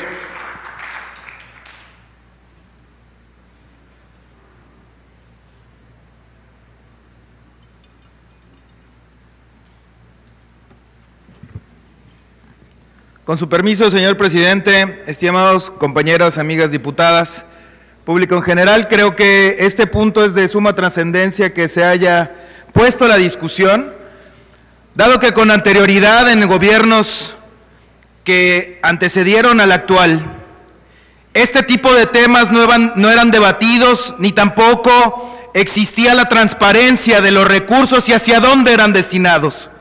Evidentemente somos un Estado en donde el turismo tiene mucha importancia porque es el que le da toda la gasolina económica a nuestro Estado. Pero tristemente vemos cómo quienes produjeron la riqueza de este Estado fue la iniciativa privada. Tristemente vimos cómo el gobierno abandonó a la gallina de los huevos de oro y poco a poco se lo fue entregando a la delincuencia. Y poco a poco cómo se vieron ahora sí que toda la riqueza natural, como no había para la recuperación de playas cuando sabíamos que era fundamental el que se pudiera tener ese recurso para que pudiéramos seguir teniendo más y más turismo. Pero no, se dedicaron a despilfarros como aviones, como darse una vida de virreyes, como invertirlos en muchísimas otras cosas más, menos a invertirle realmente al turismo. Qué bueno que se abra el debate, qué bueno que los diputados del Partido Verde han hecho una exposición que me hubiese gustado haberlo visto en antaño. Qué bueno que el día de hoy va a, ser turnado seguramente a comisiones para enriquecer, para robustecer y para poner los candados necesarios para la transparencia de en dónde se van a ejecutar esos recursos. Por supuesto que creo que debemos de abrirlo al debate, a la discusión y seguir adelante, pero también transparentando hacia dónde se dirigirán esos recursos.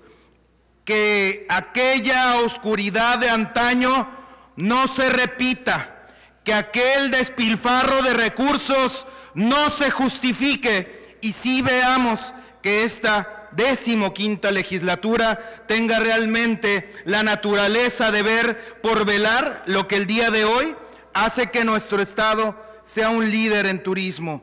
Hay que fortalecer a la iniciativa privada. Hay que fortalecer evidentemente al turismo en todas sus gamas, desde el turismo de alto impacto como también en donde se puede desarrollar la zona maya, la zona sur, la zona centro, que podamos hacer un turismo en, sus, en todas sus vertientes y en toda la promoción. Así que compañeras y compañeros diputados, creo que este punto que hoy se ha presentado es de vital importancia, que evidentemente se debata, se discuta, se enriquezca, pero sobre todo que se vele por transparentar recursos públicos que puedan ser ejecutados y con una estrategia adecuada que haga que se tenga, ahora sí, inversión y afectación directa a promoción del turismo y evidentemente todas sus ramas para enriquecer lo que seguramente vamos a hacer que transforme el siguiente punto del turismo. Así que, amigas y amigos diputados, creo que el día de hoy se abre y celebro que se abra la discusión un punto fundamental para la economía del propio Estado. Muchísimas gracias y es cuanto, señor presidente. Gracias, diputado Zelaya. Se le concede el uso de la voz al diputado Carlos Mario Villanueva.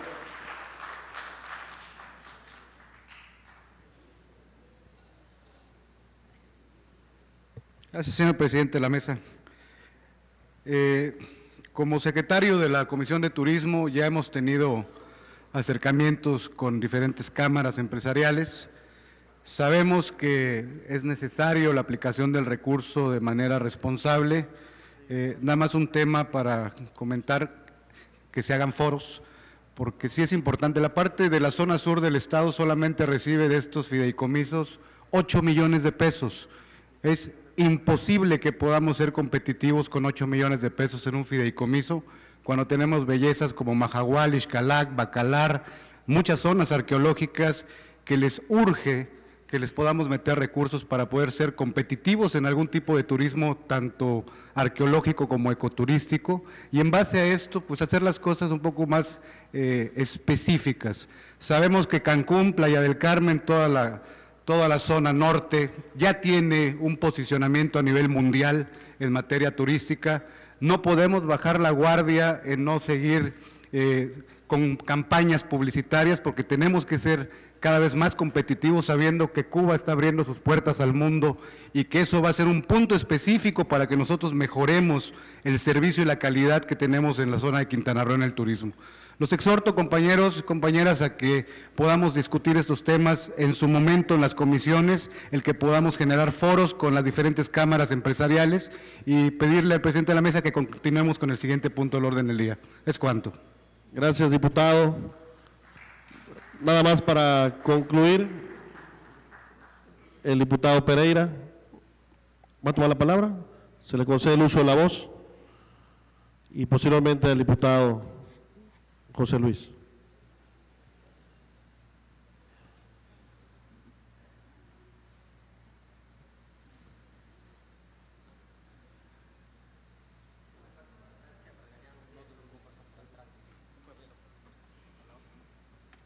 Ahí viene Benjamín a regañarme que por qué paso por atrás.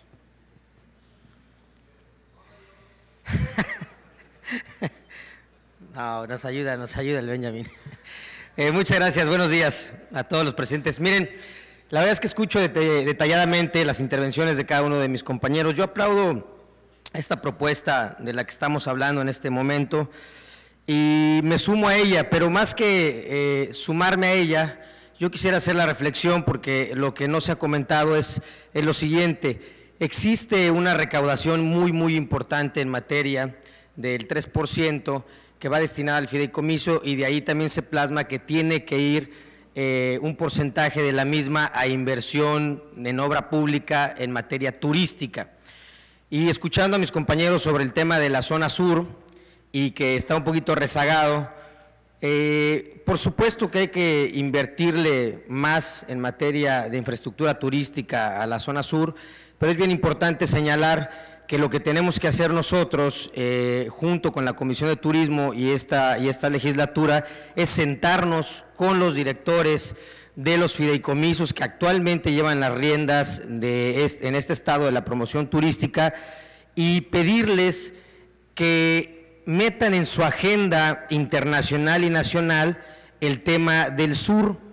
El tema de la inversión turística, de la inversión en obra pública turística, va, la puede hacer eh, el fideicomiso con recursos etiquetados, como aquí lo está haciendo, se está plasmando perfectamente, pero también desde el ámbito, pol- desde el ámbito municipal, estatal y federal, como bien lo acompañaba el diputado de La Peña. Lo importante es acompañar eso de una promoción turística adecuada.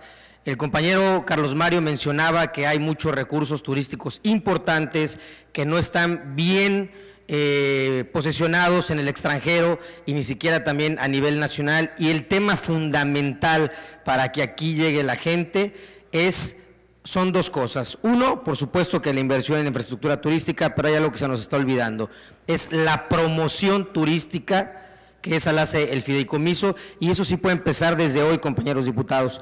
Puede empezar desde hoy, buscar a todos aquellos que llevan las riendas de los fideicomisos de aquí, del estado de Quintana Roo, y pedirles vía exhorto de esta legislatura que se le dé eh, un lugar importante a la zona sur de Quintana Roo y eso podría empezar desde el día de hoy. Solamente quiero dejarlo como reflexión porque no solamente el tema es en materia de infraestructura turística, sino que el fideicomiso y todos aquellos quienes hagan una promoción incluyan a la zona sur y por supuesto a nuestra zona eh, maya. Muchas gracias. Buen día.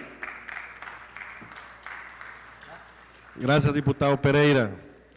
Diputado José Luis, adelante. Se le concede el uso de la voz.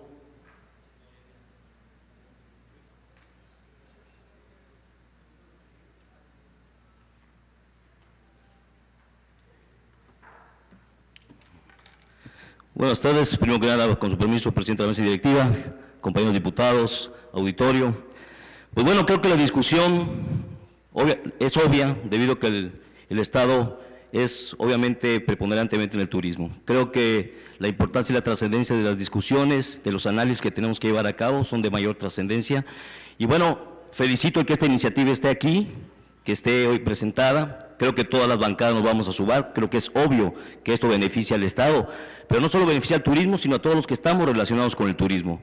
Todos los que vivimos sabemos que el Estado es virtuoso en, en- en temas naturales, en temas, en accesibilidad, en infraestructura, y creo que lo que debemos de hacer aquí es sumarnos todos, todos en este análisis. Ahora, yo creo, es cierto, este tema de la proporcionalidad que se estaba destinando para, del 50% para promoción y para infraestructura, yo creo que va a estar esta proporcionalidad más sustentada en cuanto a esos foros. Creo que debe llevarse estos foros que estaba platicando el diputado de La Peña, nuestro amigo también Carlos Mario. Necesitamos estos foros, no solo de los que están enfocados en el ramo turístico, sino que los que están indirectamente también relacionados. El turismo relaciona a todos. Y lo que todos queremos es que los ciudadanos que están aquí hoy presentes tengan dinero en su casa, que tengan, que de alguna manera trae beneficios para sus familias. Y yo creo que aquí lo que tenemos que hacer es un, tema integral de discusión de este, de este tema. Involucrar a todos los actores productivos que están relacionados con el turismo, obviamente, primero que nada, los que están en la promoción, que es un tema que se está discutiendo. Pero de veras, esta proporcionalidad yo diría que la reservemos hasta que no se den estos foros, estos análisis, estos consensos, y entonces habla- hablaremos con objetividad de lo que debe de darse en este recurso a cada uno de los temas. Es cuanto, gracias. Gracias, diputado, muy amable. Muy bien. Si me permiten hacer el uso de la voz, con fundamento del artículo 22.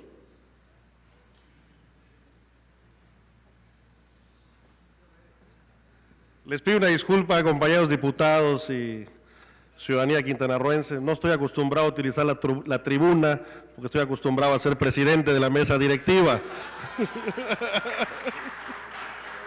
Entonces, es falta de costumbre nada más, no falta de respeto. ¿Ok? Bueno, eso quería dejarlo claro. Eh, el tema del 3% hospedaje. Yo soy de Felipe Carrillo Puerto, como siempre lo he dicho, pero lo conozco perfectamente bien. No tengo que ser un hotelero de Cancún para saber para qué fue creado este impuesto. Y el tema de la iniciativa privada tiene que ir de la mano siendo empresas socialmente responsables. Hoy, si Quintana Roo, turísticamente hablando, es lo que es y ocupa el lugar que ocupa en el mundo, no solo en nuestro país, se debe, no quisiera decir todo, pero en gran parte a la guerra social maya de 1847, que le da origen y que le da identidad a Quintana Roo ante el mundo. En nuestra sala de juntas, en la parte posterior, tenemos la foto de Cecilio Chi, de Jacinto Pat y José Manuel Antonio Ay, que estoy seguro que muchos desconocen por qué están ahí esas fotos. Entonces, tenemos que dignificar y tenemos que hacer que esta deuda histórica de atención en lo social se reivindique con la gente del centro del estado de Quintana Roo y de los municipios indígenas, que también turísticamente hablando tienen mucho que ofrecer y también pagan impuestos. Pero las ferias internacionales que se promueven a Quintana Roo, en donde se promueve a Quintana Roo, no se habla de Carrillo Puerto ni de las cavernas que hay en José María Morelos, en Cantemó, ni de la Reserva Ecológica de Ciancán, ni de la ruta de las iglesias de Tijosuco y de Tepich, la historia, la cultura. Vemos en diferentes escenarios de hoteles de gran turismo, escenografías relacionadas con la vida de los mayas, cuando hoy en Quintana Roo todavía hay mayas vivos, que todos los días, en base a sus tradiciones y a sus costumbres y su forma de actuar, hacen que trascienda nuestra cultura a través del tiempo. Y si ese impuesto fue creado y su destino no lo sabemos de manera cierta, hoy tenemos que meter en el debate una propuesta de inicio para concluir en una propuesta final en donde el Ejecutivo, el Legislativo y la ciudadanía quintanarruense diga qué es lo que hay que hacer, no solo pensando en qué es lo mejor, sino estando seguros en qué es lo mejor que hay que hacer y, repartir el porcentaje que sea necesario, pero que primero genere un beneficio social en Quintana Roo. Muchas gracias.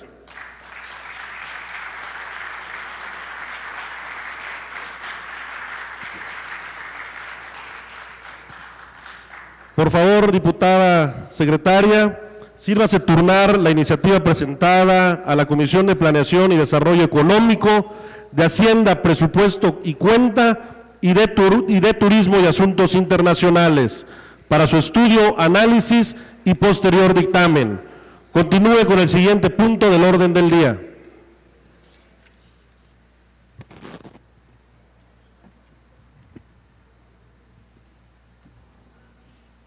El siguiente punto del orden del día es la lectura del punto de acuerdo por el que se realiza un respetuoso, respetuoso exhorto al Ayuntamiento de Solidaridad, Quintana Roo, para que en ejercicio de su autonomía municipal y de la facultad conferida por la Ley del Agua Potable y Alcantarillado del Estado de Quintana Roo, en su artículo 127 y la Ley de los Municipios del Estado de Quintana Roo, en el artículo 66, fracción segunda, inciso primero, rescinda la concesión del servicio de agua potable y alcantarillado con la empresa, desarrolla- con la empresa Desarrollos Hidráulicos de Cancún, SADCB, Aguacam, presentada por la diputada Laura Esther Beristain Navarrete, presidenta de la Comisión de Salud y Asistencia Social de la decimoquinta Legislatura del Estado.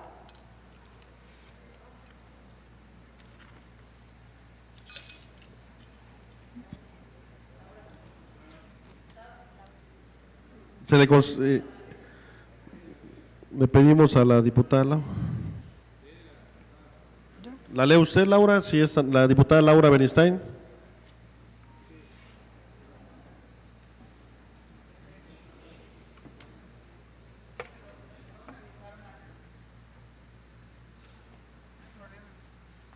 Pero como no me avisaron antes. Con su venia, diputado presidente, buenos días, compañeros diputados y amigos de la prensa, público presente y todos quienes nos siguen a través de las redes sociales este día.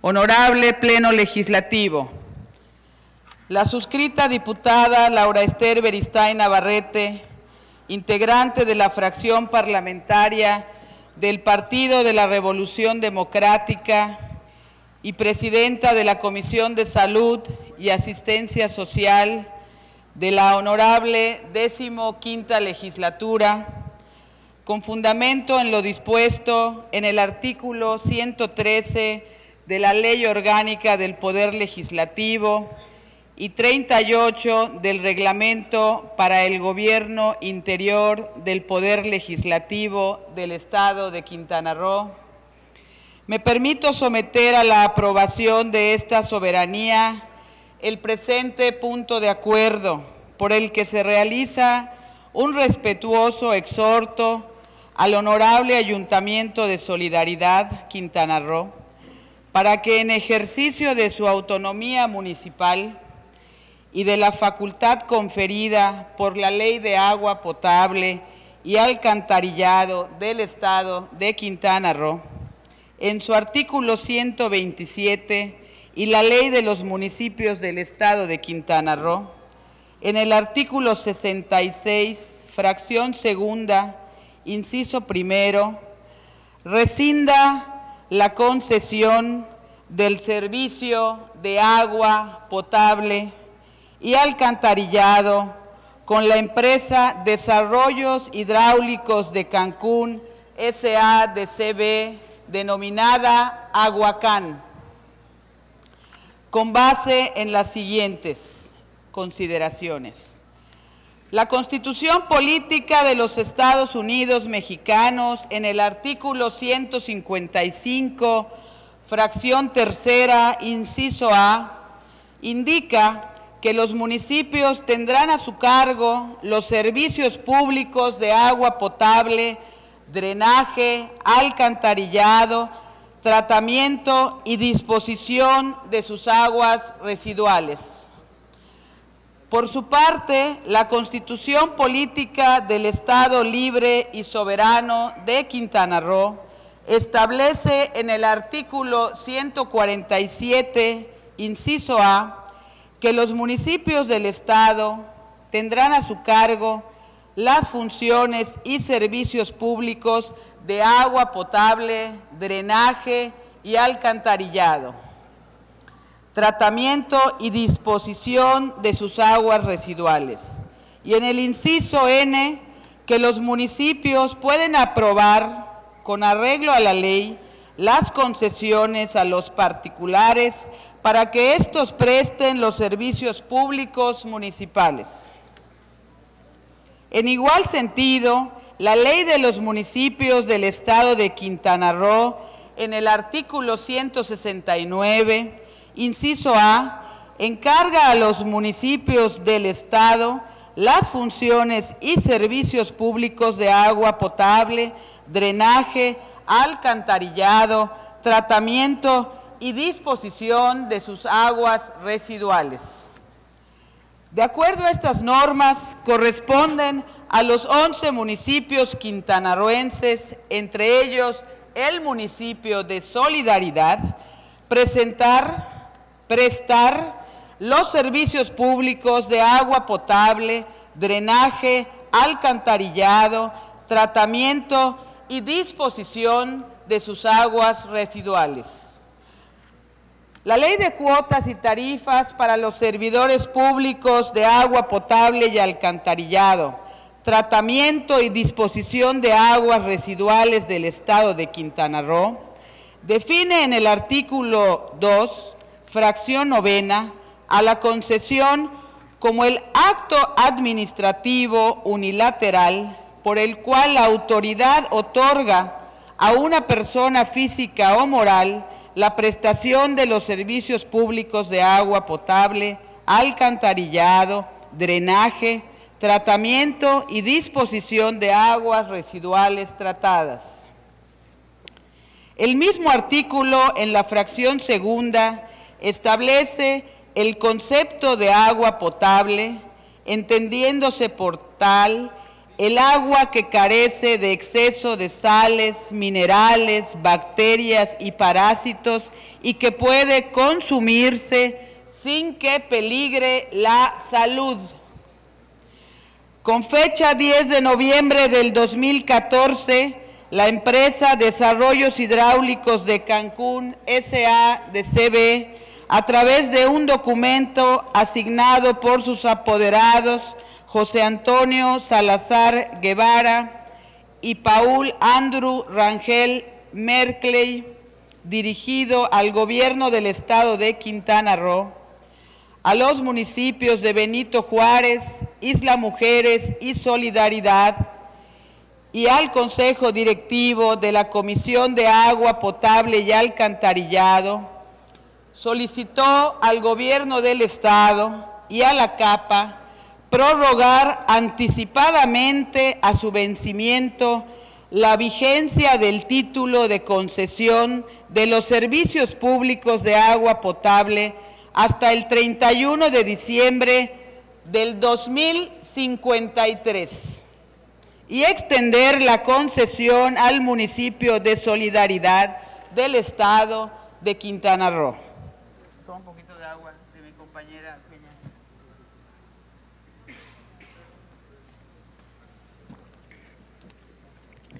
Que el escrito anteriormente mencionado, Desarrollos Hidráulicos de Cancún, SADCB, solicitó que la concesión de los servicios públicos de agua potable, alcantarillado, saneamiento y tratamiento de aguas residuales del municipio de Solidaridad Quintana Roo se amparara en el mismo título de concesión de los servicios relativos a los municipios de Benito Juárez e Isla Mujeres, para que todas las disposiciones de dicho título rigieran para el municipio de Solidaridad Quintana Roo. El 12 de noviembre del 2014 se realizó la segunda sesión extraordinaria del Consejo Directivo de la Comisión de Agua Potable y Alcantarillado del Estado de Quintana Roo. Dicha sesión fue presidida por el gobernador constitucional del Estado, licenciado Roberto Borge Angulo. El quinto punto del orden del día de dicha sesión fue estudio y análisis para la aprobación en su caso de la propuesta de desarrollos hidráulicos de Cancún SADCB para el otorgamiento en su favor de una concesión integral para la prestación de los servicios públicos de agua potable, alcantarillado, tratamiento y saneamiento de aguas residuales en el municipio de Solidaridad. Al ser tratado el quinto punto del orden del día, la ciudadana Paula Guadalupe González Cetina, directora general de la Comisión de Agua Potable y Alcantarillado, informó que en el escrito de fecha 10 de noviembre de 2014, Desarrollos Hidráulicos de Cancún, SA de CB, solicitó el otorgamiento de la concesión del servicio público de agua potable, alcantarillado, tratamiento y saneamiento de aguas residuales en el municipio de Solidaridad.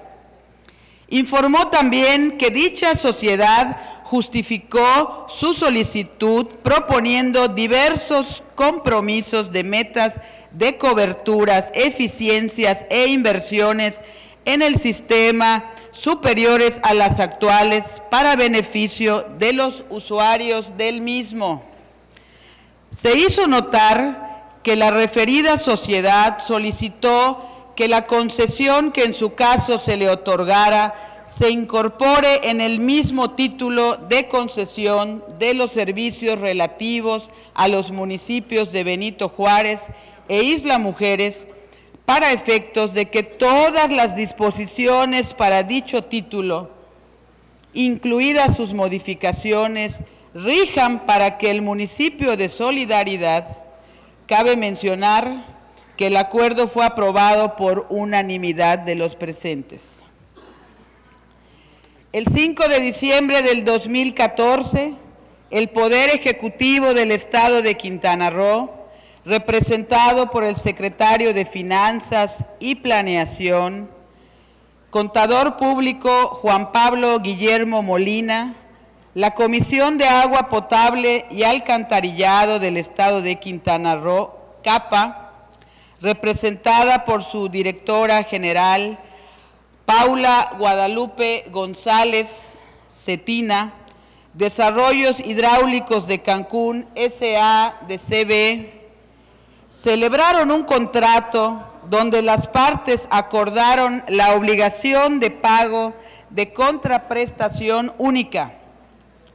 En este contrato, el Poder Ejecutivo del Gobierno del Estado de Quintana Roo, CAPA y DHS y DHC acordaron que a más tardar el 18 de diciembre se cumpliría formal, jurídica y administrativamente con la solicitud de DHC, es decir, que se prorrogara anticipadamente a su vencimiento la vigencia del título de concesión de fecha 20 de octubre de 1993 hasta el 31 de diciembre del 2053 y se otorgara a favor de DHC la concesión del servicio público de agua potable, alcantarillado, saneamiento y tratamiento de aguas residuales en el municipio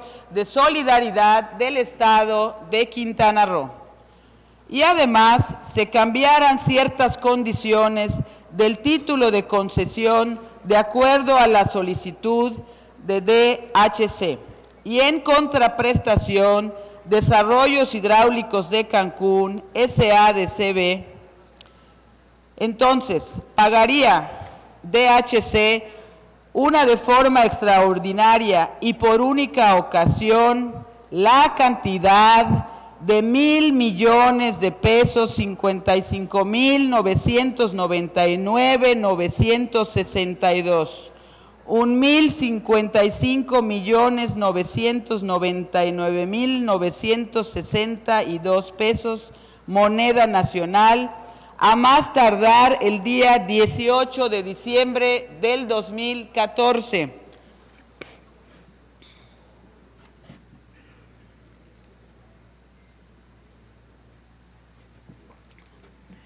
Una de las condiciones que debían cumplirse para el pago del monto referido era que el Ayuntamiento de Solidaridad, cumpliendo con los requisitos aplicables conforme a las normas que los rigen, apruebe y otorgue la concesión en favor de DHC del servicio público de agua potable, alcantarillado, saneamiento y tratamiento de aguas residuales del municipio de Solidaridad del Estado de Quintana Roo, de conformidad con las bases aprobados por la CAPA y autorice a su presidente municipal a suscribir los documentos que sean necesarios o convenientes para cumplir con su resolución.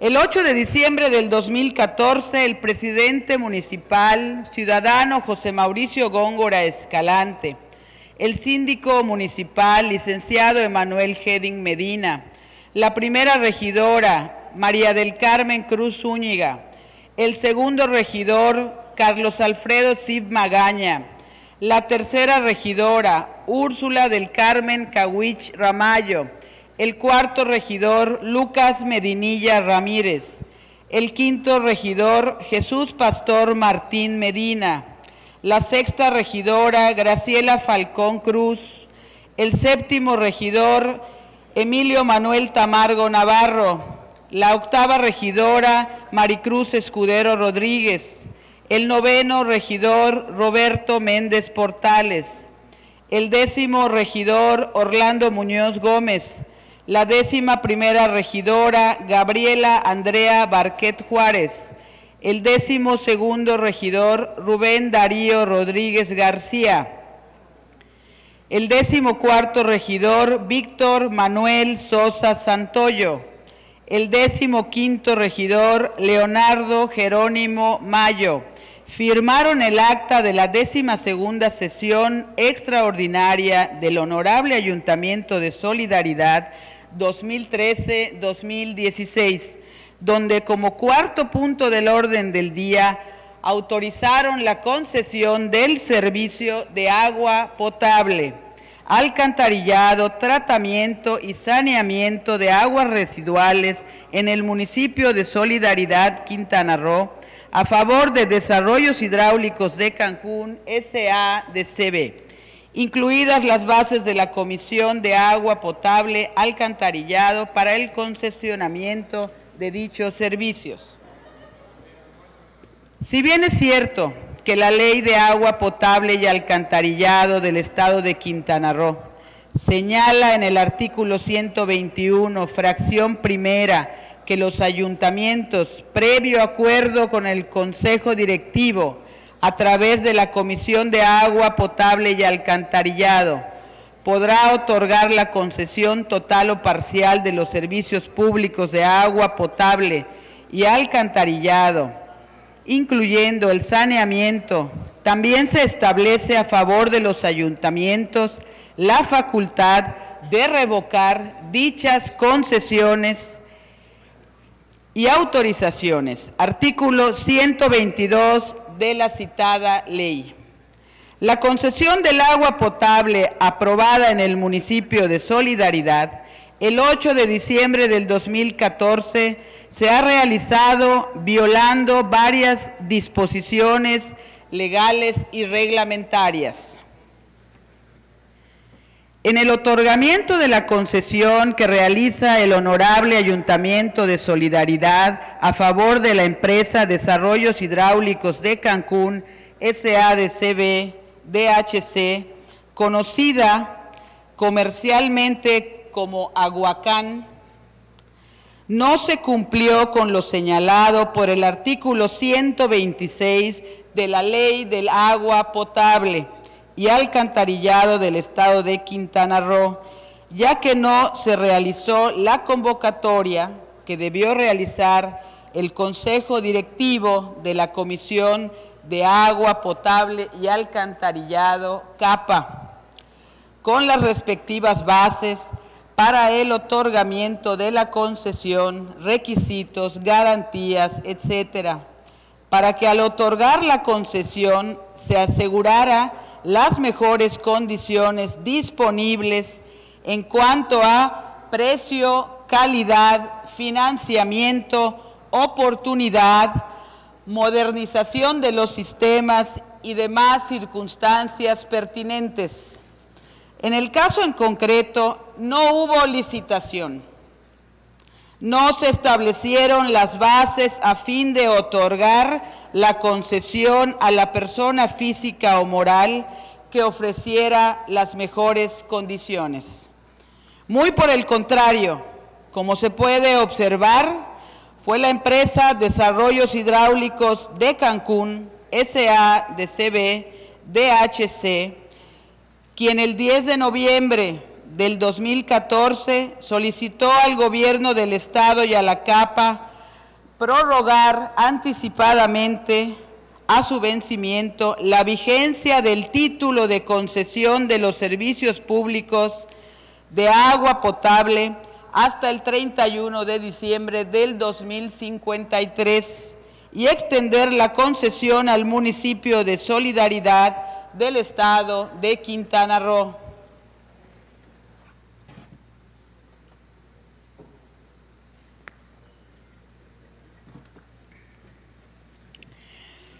Fue la empresa Desarrollos Hidráulicos de Cancún, SADCB, quien exigió al gobierno del estado de Quintana Roo y a la Comisión de Agua Potable y Alcantarillado que para la concesión de los servicios públicos de agua potable, alcantarillado, saneamiento y tratamiento de aguas residuales del municipio de Solidaridad Quintana Roo, se utilizara el mismo título de concesión de los servicios relativos a los municipios de Benito Juárez e Isla Mujeres, para que todas las disposiciones de dicho título rigieran para el municipio de Solidaridad Quintana Roo y que fuera y que fue tras esa solicitud y exigencia de la empresa Desarrollos Hidráulicos de Cancún, SADCB, que el 12 de noviembre del 2014 se realizó la segunda sesión extraordinaria del Consejo Directivo de la Comisión de Agua Potable y Alcantarillado del Estado de Quintana Roo para aprobar la propuesta de desarrollos hidráulicos de Cancún SADCB para el otorgamiento en su favor de una concesión integral para la prestación de los servicios públicos de agua potable, alcantarillado, tratamiento y saneamiento de aguas residuales en el municipio de Solidaridad. Como si no fueran suficientes las violaciones legales ya mencionadas, el 5 de diciembre del 2014, el Poder Ejecutivo del Estado de Quintana Roo, representado por el secretario de Finanzas y Planeación, contador público Juan Pablo Guillermo Molina, la Comisión de Agua Potable y Alcantarillado del Estado de Quintana Roo, CAPA, representada por su directora general Paula Guadalupe González Cetina, Desarrollos Hidráulicos de Cancún S.A. de CB, DHC, celebraron un contrato donde las partes acordaron la obligación de pago de contraprestación única.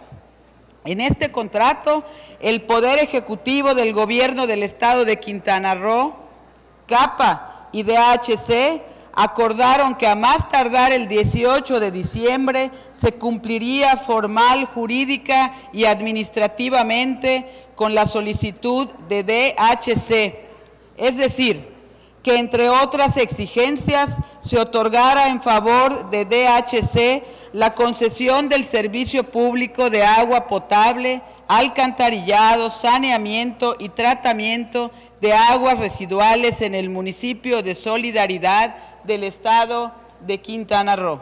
Y además se cambiaran ciertas condiciones del título de concesión de acuerdo a la solicitud de DHC y en contraprestación Desarrollos Hidráulicos de Cancún SADCB, DHC, pagaría una forma extraordinaria y por única ocasión la cantidad de 1.055 millones novecientos noventa y nueve mil novecientos sesenta y dos pesos moneda nacional a más tardar el 18 de diciembre del 2014.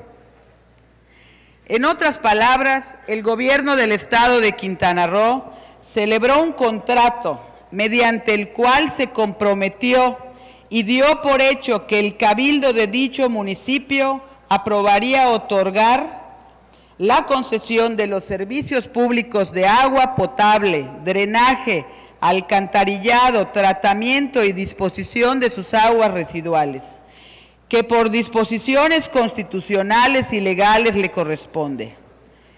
Esto constituyó un atropello a la autonomía municipal, entendiéndose por tal a la potestad que dentro del Estado puede el municipio gozar para regir intereses peculiares de su vida interior mediante normas y órganos de gobierno propios, creados en el marco del artículo 115 de nuestra Carta Magna.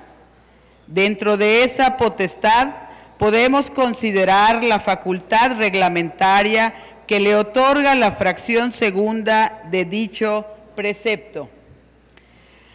La Suprema Corte de Justicia de la Nación no solo viene a confirmar esta facultad de los municipios, sino que además delimita el contenido y alcance de las leyes estatales en materia municipal, como lo manifiesta en la controversia constitucional 14-2001, al referirse concretamente al contenido y alcance de la facultad reglamentaria de los municipios, a saber, a raíz de la reforma constitucional de 1999, se amplió la esfera competencial de los municipios en lo relativo a su facultad reglamentaria en los temas que se refiere el segundo párrafo de la fracción segunda del artículo 115 de la Constitución Política de los Estados Unidos Mexicanos. Derivado de aquella, los ayuntamientos pueden expedir dos tipos de normas reglamentarias. A el reglamento tradicional de detalle de las normas que funcionan similarmente a los derivados de la fracción primera del artículo 89 de la Constitución Federal y de los expedidos por los gobernadores de los estados, en los cuales la extensión normativa y su capacidad de innovación está limitada pues el principio de subordinación jerárquica exige que el reglamento esté precedido por una ley cuyas disposiciones desarrolle, complemente o permenorice o pormenorice y en las que encuentre su justificación y medida. Y B los reglamentos derivados de la fracción segunda del artículo 115 constitucional que tienen una mayor extensión normativa, ya que los municipios, respetando las bases generales establecidas por las legislaturas, pueden regular con autonomía aquellos aspectos específicos de la vida municipal en el ámbito de sus competencias lo cual les permite adoptar una variedad de formas adecuadas para regular su vida interna, tanto en lo referente a su organización administrativa y sus competencias constitucionales exclusivas, como en la relación con sus gobernados, atendiendo a las características sociales, económicas, biogeográficas, poblacionales, culturales y urbanísticas, entre otras, pues los municipios deben ser iguales en lo que es consustancial a todos. Dentro de esa autonomía municipal están las facultades que señala el artículo 66 de la Ley de los Municipios del Estado de Quintana Roo, que reza, Artículo 66. Son facultades y obligaciones del ayuntamiento en materia de obras públicas y desarrollo urbano. H. Expedir el reglamento que establezca las condiciones a que se deberán someter las concesiones de servicios públicos y determinar cuáles de ellos no podrán ser sujetos de concesión a particulares y decretar la cancelación de las concesiones de servicios públicos que hayan otorgado a particulares de conformidad con el reglamento en materia. La ley de los municipios del estado de Quintana Roo es clara. Como parte de la autonomía municipal, está la de expedir el reglamento que establezca las condiciones a que se deberá someter las concesiones de los servicios públicos y determinar cuáles de ellos no pueden ser concesionados a particulares. Este mismo principio lo observamos nuevamente en la ley de los municipios del estado de Quintana Roo, en el artículo 90, que la letra dice, artículo 90, él o la presidenta municipal tendrá las siguientes facultades u obligaciones. Vigésimo segundo, otorgar a particulares las concesiones o permisos sobre la prestación de los servicios públicos municipales, siempre que no esté expresamente prohibido hacerlo, en las condiciones, modalidades y términos que establezcan los reglamentos respectivos. La persona que ejerza la presidencia municipal puede otorgar la concesión de los servicios públicos municipales a particulares siempre que no esté expresamente prohibido hacerlo. En este sentido, es necesario hacer mención que el municipio de Solidaridad Quintana Roo, y haciendo uso de una de las facultades conferidas por la ley de los municipios del estado de Quintana Roo, concretamente la del artículo 66, fracción segunda, inciso H, expidió el artículo 79 del bando de gobierno para el municipio de Solidaridad Quintana Roo, que a la letra dice,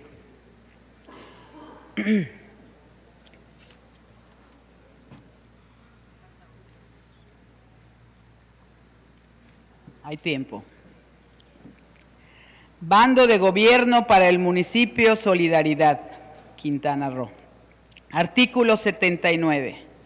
No podrán ser motivo de concesión a particulares los servicios públicos siguientes. Primero, agua potable, drenaje y alcantarillado. Segundo, alumbrado público. Tercero, seguridad pública. Tránsito, policía turística y bomberos. Cuarto, catastro municipal. Y quinto, los que afecten la estructura y organización municipal. Toda vez que los servicios públicos de agua potable, drenaje, alcantarillado, tratamiento y disposición de sus aguas residuales, son servicios públicos a cargo del municipio de Solidaridad, Quintana Roo, Constitución Política de los Estados Unidos Mexicanos, artículo 115, fracción tercera, inciso A. Constitución Política del Estado Libre y Soberano de Quintana Roo, artículo 147, inciso A. Ley de los Municipios del Estado de Quintana Roo, artículo 169, inciso A, y que el municipio de Solidaridad, en uso de una de sus facultades, Ley de los Municipios del Estado de Quintana Roo, artículo 66, fracción segunda, inciso H, y haciendo valer como municipio su autonomía, que etimológicamente significa darse leyes a sí mismos, del grito autos por sí mismos y monos ley, ha decidido establecer la prohibición de concesionar a particulares los servicios públicos de agua potable, drenaje y alcantarillado Bando de Gobierno para el municipio de Solidaridad, Quintana Roo, artículo 79, fracción primera.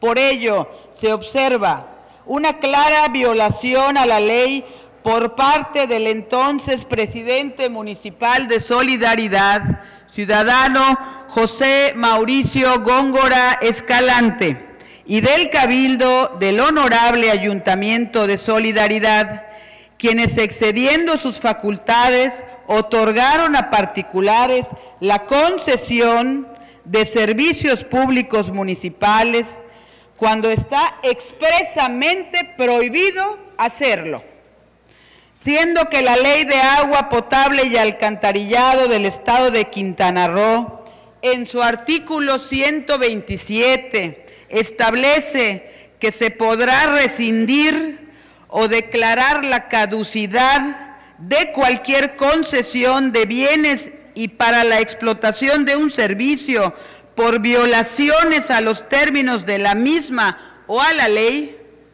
solicito que se proceda a volver a su estado anterior la prestación de los servicios públicos municipales de agua potable, drenaje y alcantarillado en el municipio de Solidaridad, Quintana Roo, dejando sin efecto la concesión otorgada en favor de Desarrollos Hidráulicos de Cancún SADCB. En virtud de lo anteriormente expuesto y fundado, tengo a bien someter a la consideración de esta respetable soberanía popular el siguiente, el siguiente punto de acuerdo y único. Se exhorta respetuosamente al honorable Ayuntamiento de Solidaridad Quintana Roo para que en ejercicio de su autonomía municipal y de la facultad conferida por la Ley de Agua Potable y Alcantarillado del Estado de Quintana Roo en su artículo 127 y la Ley de los Municipios del Estado de Quintana Roo en el artículo 66, fracción segunda, inciso 1, rescinda la concesión del servicio de agua potable y alcantarillado con la empresa Desarrollos Hidráulicos de Cancún, Aguacán. Dado en la sede del Poder Legislativo del Estado Libre y Soberano de Quintana Roo, hoy en la ciudad de Chetumal, capital del Estado, a los 28 días del mes de septiembre de 2016. ¿Es cuánto, señor presidente? Gracias, diputada Laura Bernstein. Y, yo, quiero hacer tantito uso de la palabra, porque como yo pensé que tú ibas a leer. Sí, pero no el que sigue. Ajá. Se le concede el uso de la voz a la diputada Laura Bernstein.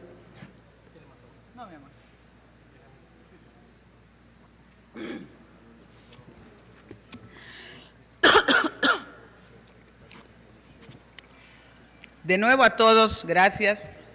Este tema de vital importancia, hablando del agua, que es un derecho humano, que está en los tratados internacionales, que está en la ONU y que es de lo que depende la vida de todos y cada uno de los que hoy estamos aquí sentados, de los que hoy nos hacen favor de ver en las redes sociales, de todos los quintanarroenses y los ciudadanos, seres humanos del mundo y seres vivos.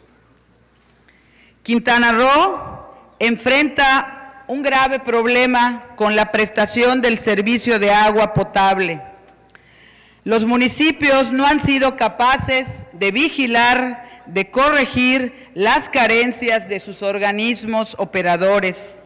Me refiero a la falta de servicio en varias colonias, la mala calidad del agua, los abusos en las tarifas, la falta de infraestructura, la contaminación que generan la falta de mantenimiento, de drenajes, los malos olores que arrojan los cárcamos, entre otras. Pero el peor error que se ha cometido en Quintana Roo fue el de concesionar, privatizar el agua potable. Quiero decirles, compañeros ciudadanos, que tengo un compromiso con la gente desde que fui regidora del Honorable Ayuntamiento de Solidaridad y me opuse a la privatización del agua potable al no asistir a una sesión secreta convocada de última hora, realizada en lo oscurito, a puertas cerradas, sin la prensa, sin el público, sin que nos proporcionaran los documentos en tiempo y forma para su análisis y estudio. Este, el respectivo título de concesión, como ocurrió en Benito Juárez e Isla Mujeres. Como ya escucharon en la lectura del punto de acuerdo, la concesión del servicio de agua potable a la empresa Aguacán se ha realizado por un acuerdo contractual entre dicha compañía, el gobierno del estado de Quintana Roo y CAPA, donde pactaban y daban por hecho el voto a favor del Cabildo de Solidaridad a cambio de más de 1.055 millones de pesos. Pasaron por encima de la autonomía municipal y más aún porque la ley de los municipios de Quintana Roo señala que los municipios como entes autónomos tienen la facultad de reglamentar qué servicios públicos pueden prohibir que sean concesionados. Y Solidaridad en su bando de gobierno expresamente señala que el servicio de agua potable y alcantarillado no puede ser objeto de concesión. Además, de haber violado leyes estatales al no cumplir con el procedimiento legal para realizar concesiones. Así se daban las prácticas, las prácticas del gobierno en los años anteriores. Eso hoy no debe volvernos a suceder. Se los digo con todo respeto, compañeros legisladores. Se ha violado la ley. El exgobernador Roberto Borges ha violado la ley. Paula González Cetina, exdirectora de CAPA, ha violado la ley. Mauricio Góngora Escalante, expresidente de Solidaridad, ha violado la ley. Los integrantes del Cabildo de Solidaridad que firmaron el acta han violado la ley. Y solo ellos saben dónde quedaron los más de 1.055 millones de pesos. Y esto lo podemos definir con una sola palabra, corrupción. Y no queremos más corrupción en Quintana Roo y no queremos más corrupción en México. Más cuando se trata del líquido vital de la humanidad, del agua. Por eso, compañeros, público en general, ciudadanía, hoy desde esta tribuna y en congruencia con mi palabra empeñada a los quintanarroenses, presento este punto de acuerdo para exhortar al Ayuntamiento de Solidaridad a que en ejercicio de su autonomía municipal y de la facultad conferida por la ley del agua potable y alcantarillado del Estado de Quintana Roo y la ley de los municipios del Estado de Quintana Roo, rescinda la concesión del agua potable y alcantarillado a la empresa Desarrollos Hidráulicos de Cancún SADCB, mejor conocida como Aguacán. Es momento de dejar claro que el agua potable no puede ser un negocio, no puede estar en manos de mercenarios que lucren con el líquido vital de la humanidad. Este servicio esencial no debe estar en manos de empresarios que lucran con algo que es vital para los seres humanos. Compañeros legisladores, hoy tenemos la oportunidad de enmendar el camino. Espero su compromiso porque un voto a favor de este acuerdo es un voto a favor de la vida y es un voto en contra de la corrupción. Muchas gracias. Gracias, diputada Laura Bernstein. Adelante, diputada. Se le Sí, pase, se le concede el uso de la voz.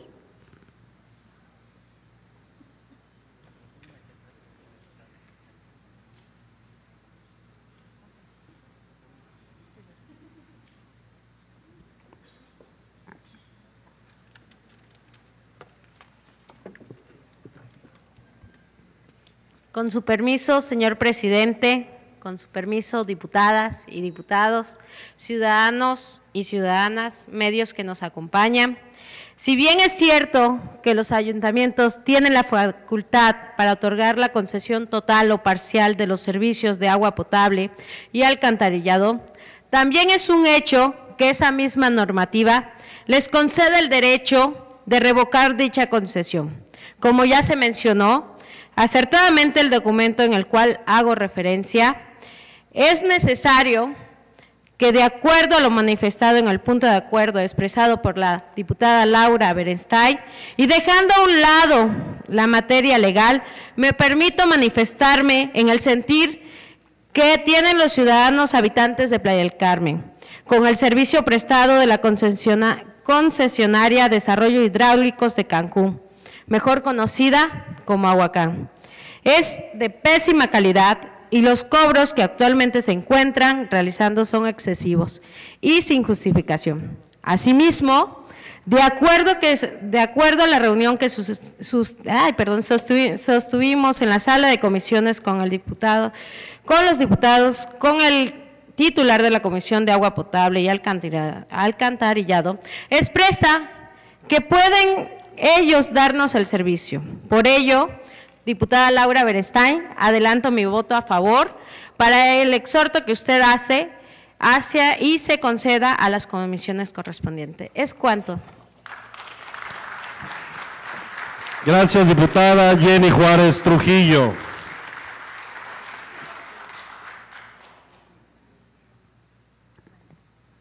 Adelante, diputado Toledo.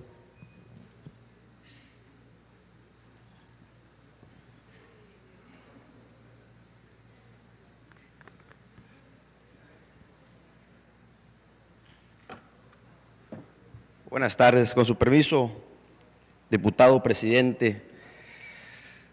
Compañera Laura, te felicito. La verdad que hoy es un día de debates, es un día donde estamos exponiendo todos y cada uno de nosotros, los diputados, diferentes puntos de vista. Pero este tema ha sido para la sociedad y me atrevo a decirlo el más importante, porque esta empresa no ha respetado los intereses de los solidarenses. Esta empresa ha lastimado a cientos de paisanos. Me sumo a tu iniciativa, Laura. Hemos tenido la oportunidad de trabajar de cerca y, como lo he dicho anteriormente, para rendirles cuentas claras a los solidarenses, a los quintanarruenses, tenemos que hacerlo como un gran equipo, tenemos que hacerlo como una sociedad civilizada y con mucha responsabilidad. Hoy los diputados que integramos la decimoquinta legislatura, por algo estamos aquí, por algo la sociedad nos dio esa oportunidad y es para, para ellos a los que trabajamos nosotros. Nos debemos a ellos y comentarle a la sociedad que vamos a estar de cerca con la presidenta municipal electa, viendo este tema tan importante y que se retire la concesión a Huacán. Yo me sumo a tu iniciativa, Laura, y muchas felicidades. Enhorabuena. Es cuanto. Gracias, diputado José Carlos Toledo Medina. Se le concede el uso de la voz al diputado Pereira.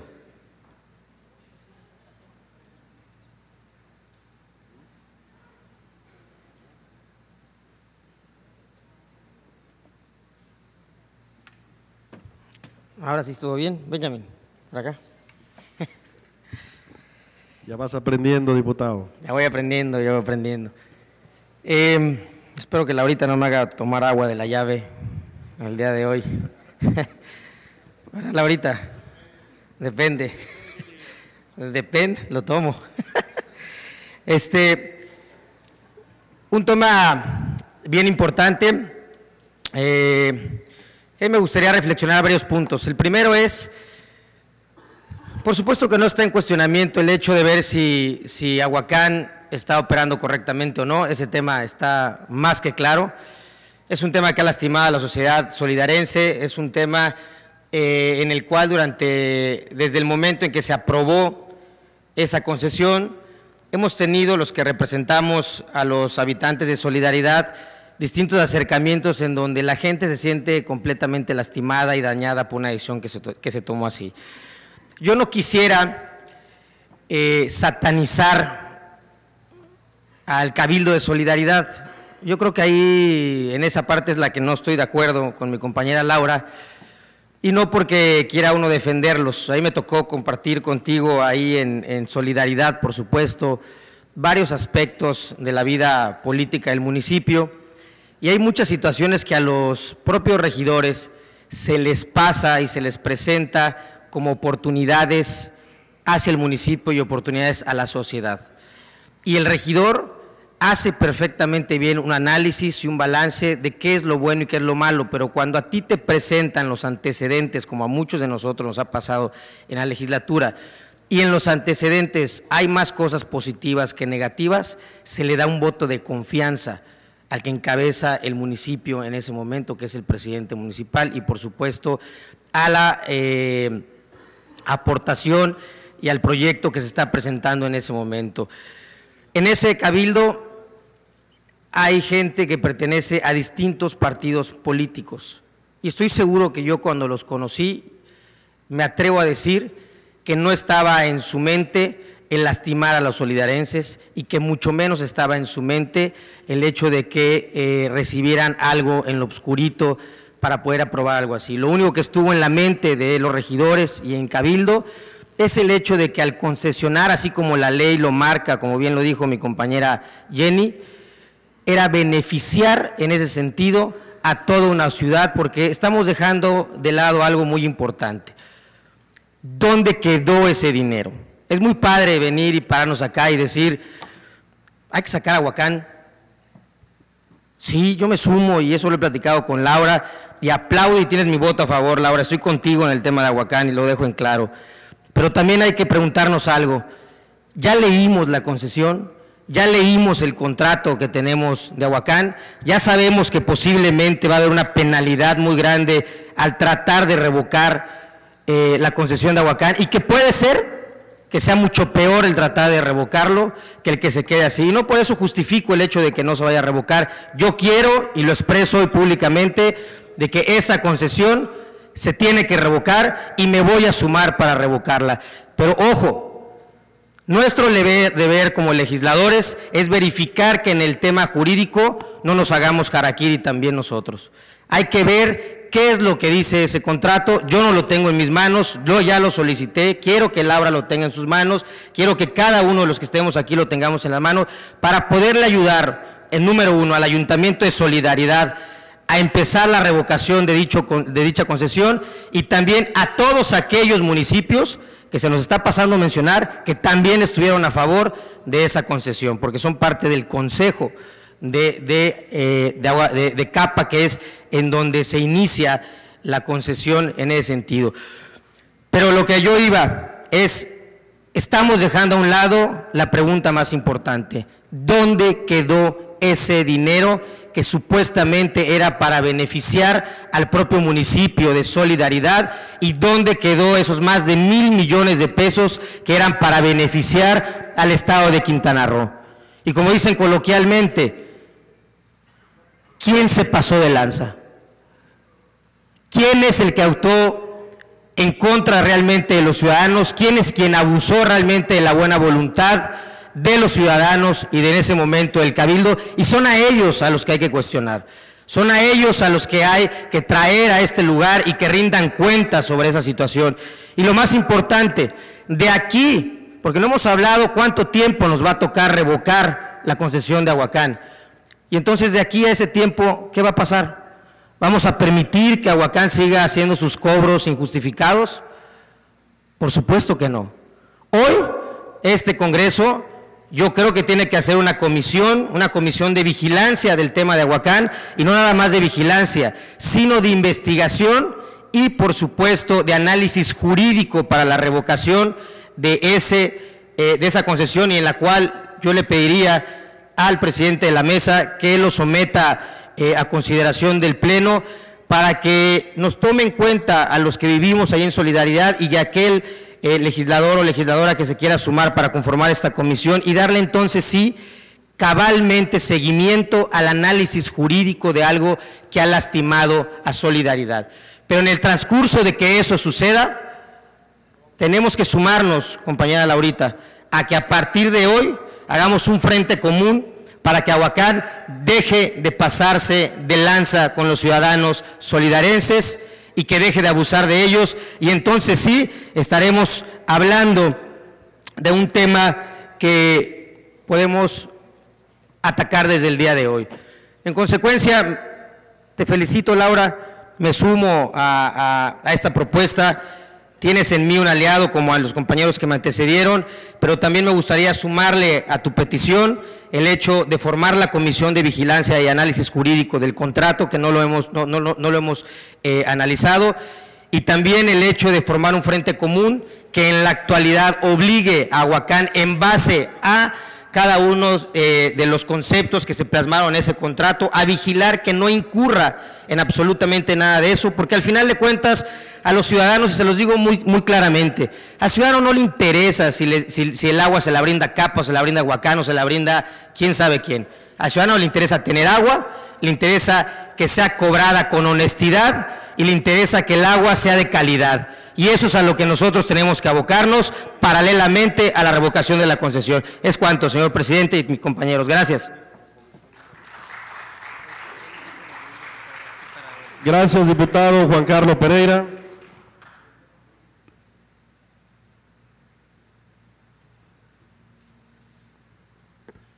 Ok, bien. La petición del diputado Pereira es crear una comisión para atender el tema de Aguacam. A ver, se le concede el uso de voz, el uso de la voz a Laura Bernstein.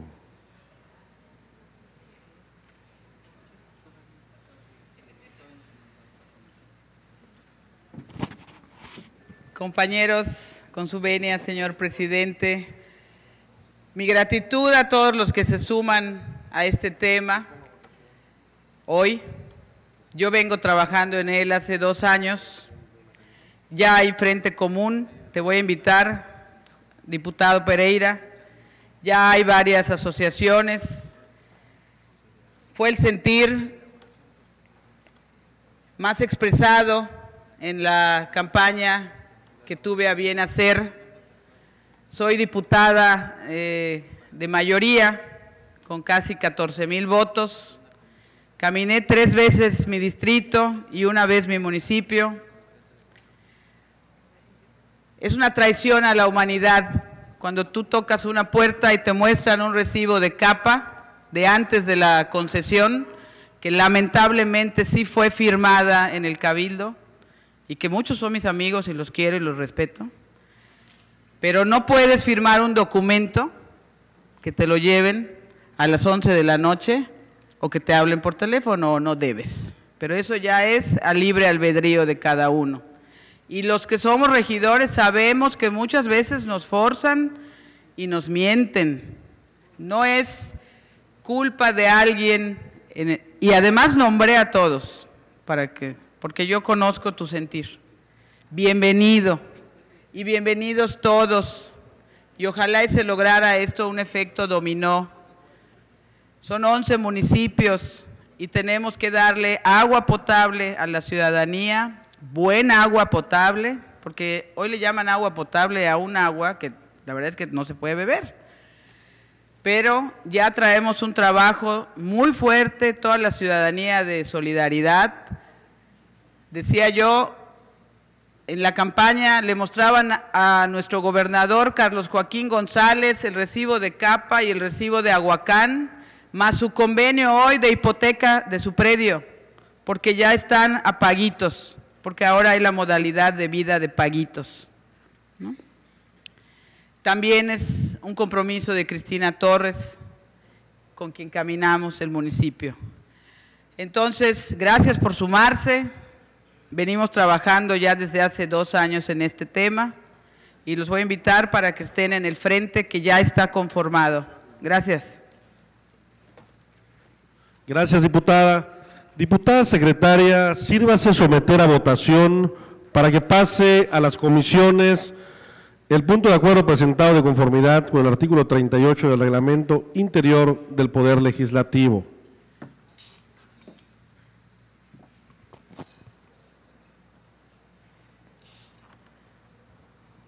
Se somete a votación la propuesta presentada para que pase a las comisiones, por lo que le solicito a los ciudadanos diputados emitir su voto.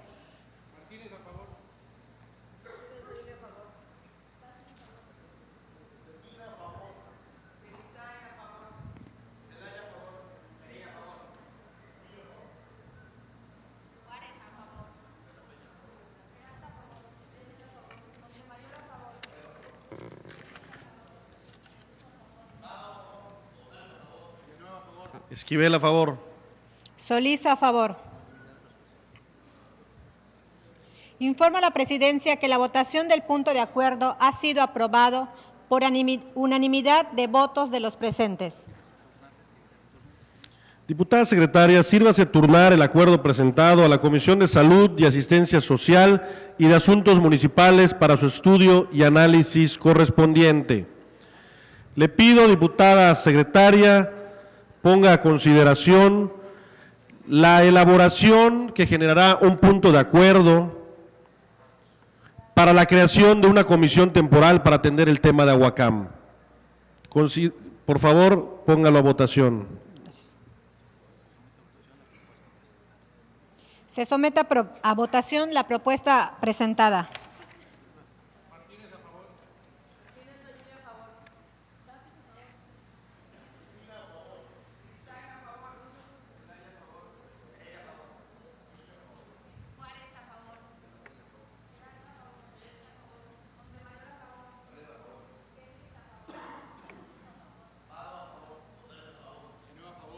Esquivel a favor.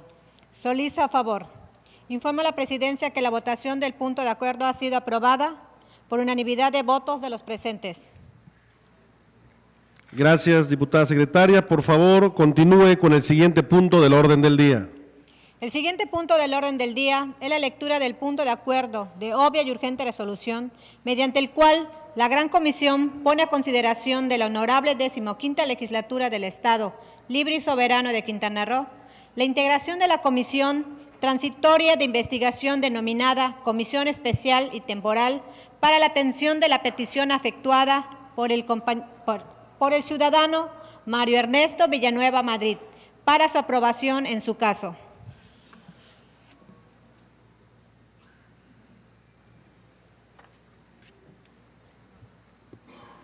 Honorable decimoquinta legislatura del Estado de Quintana Roo.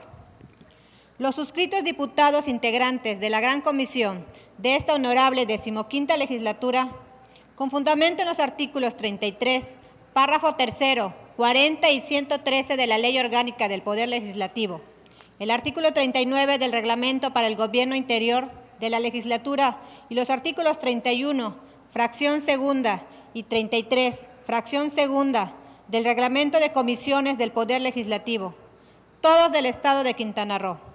Nos permitimos someter a, su consideración el siguiente punto de acuerdo de obvia y urgente resolución, mediante el cual la Gran Comisión pone a consideración de la honorable decimoquinta legislatura del Estado Libre y Soberano de Quintana Roo la integración de la Comisión Transitoria de Investigación denominada Comisión Especial y Temporal para la atención de la petición efectuada por el ciudadano Mario Ernesto Villanueva Madrid, basado en los siguientes apartados.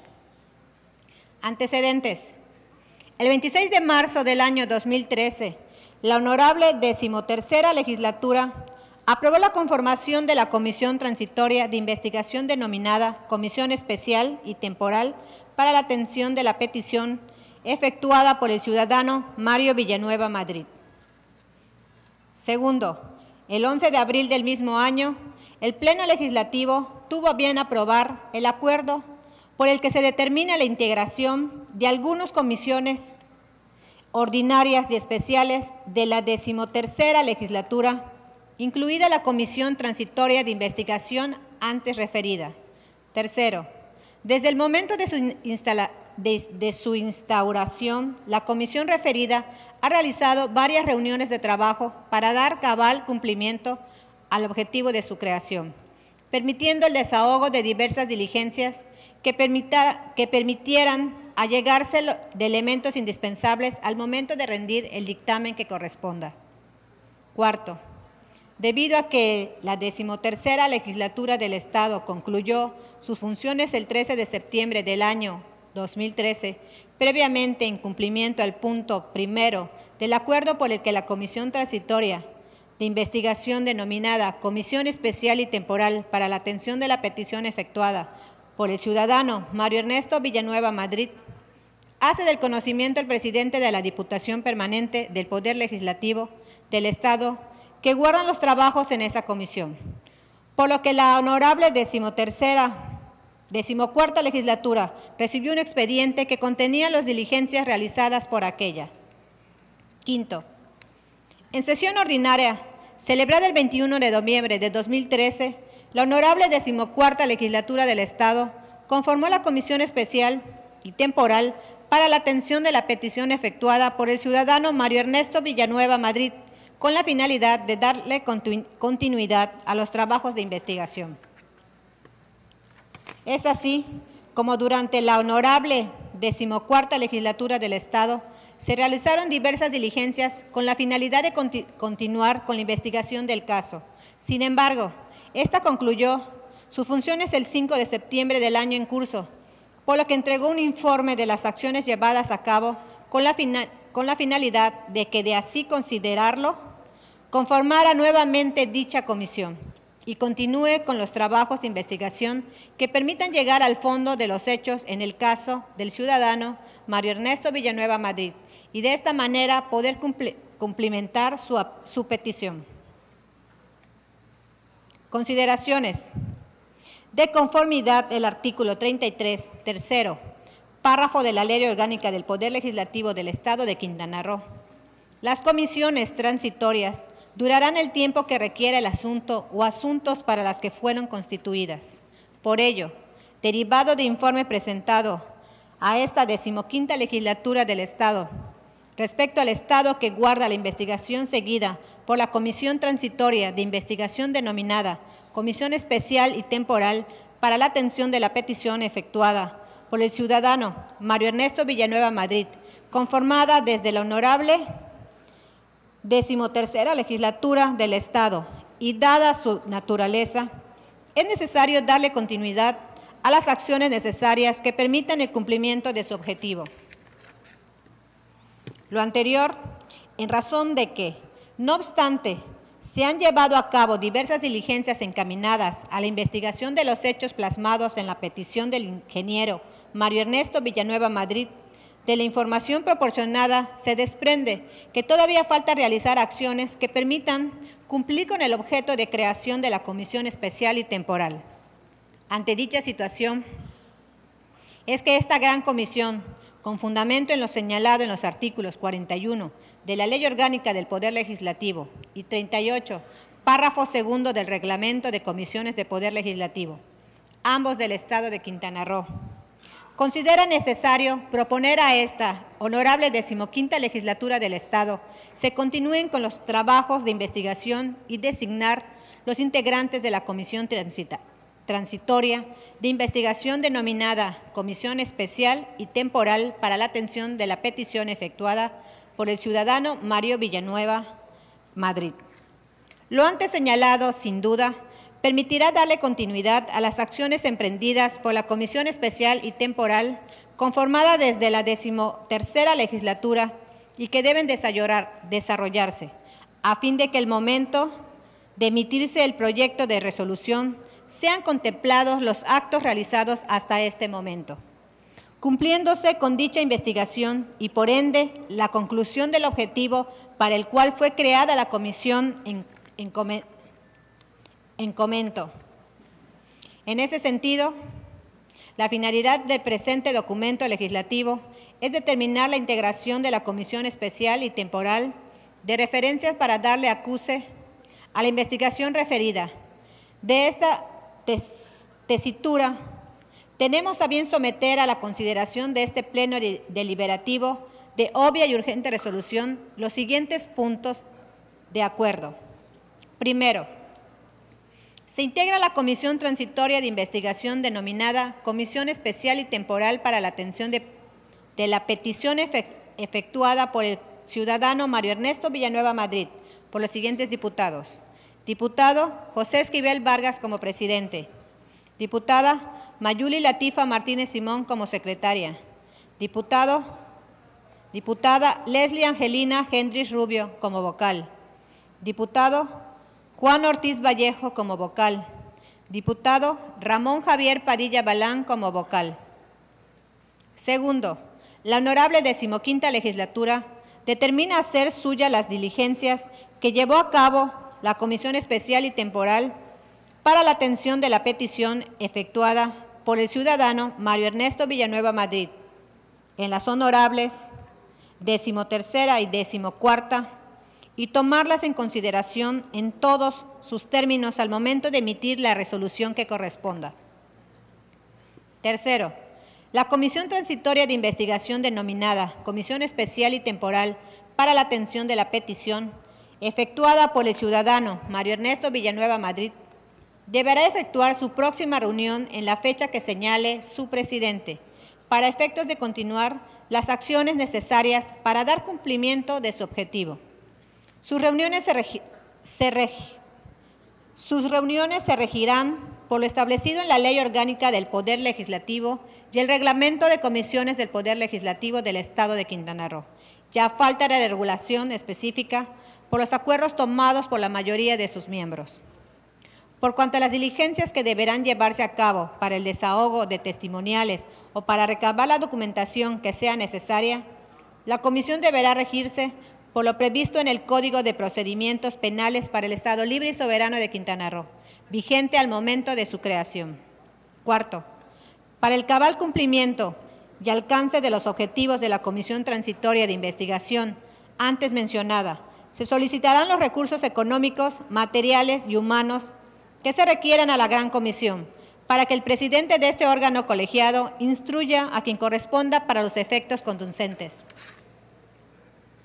Quinto, remítase el expediente integrado por la Comisión Transitoria de Investigación denominada Comisión Especial y Temporal para la atención de la petición efectuada por el ciudadano Mario Ernesto Villanueva Madrid al presidente que se designe de dicha comisión para los efectos que correspondan en la ciudad de Chetumal, capital del estado de Quintana Roo, a los 29 días del mes de septiembre del año 2016. Es cuanto, diputado presidente.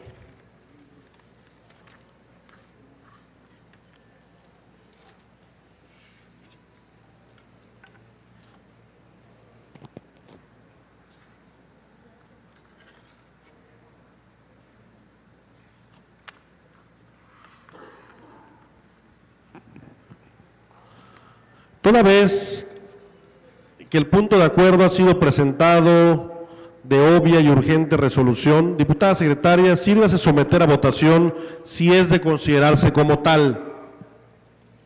Se somete a votación si es de obvia y urgente resolución el acuerdo presentado, por lo que le solicito a los diputados emitir su voto en la forma acostumbrada.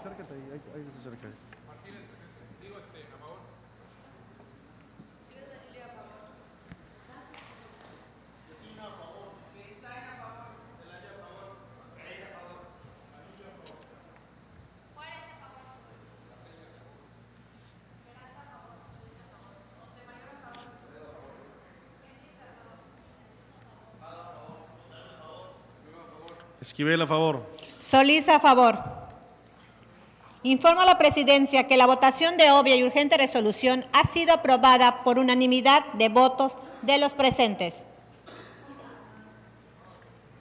En tal virtud, está a consideración de esta legislatura el acuerdo presentado. Si algún diputado desea hacer alguna observación, sírvase manifestarlo.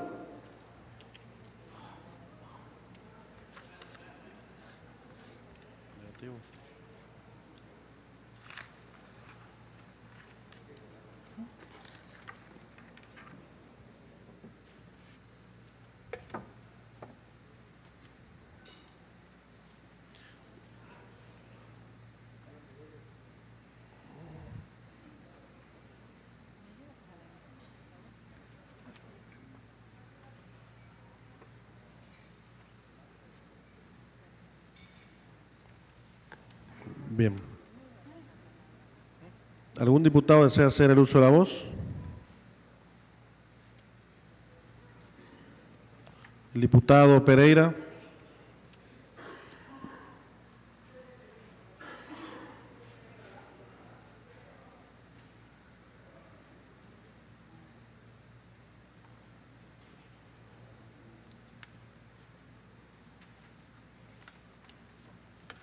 Perdón, muy rápido, nada más, este, con su permiso, presidente de la mesa directiva, los compañeros, nada más solidarizarme con el compañero Mario eh, Villanueva con este punto de acuerdo y pedir que también, si será posible, eh, sumarme a la comisión transitoria de investigación para poder aportar a un tema tan importante en lo personal de un compañero y por supuesto para el estado de Quintana Roo. Es cuanto, solamente quería dejar eso en claro. Gracias. Gracias, muy amable, diputado Pereira. Diputado José Luis, se le concede el uso de la voz.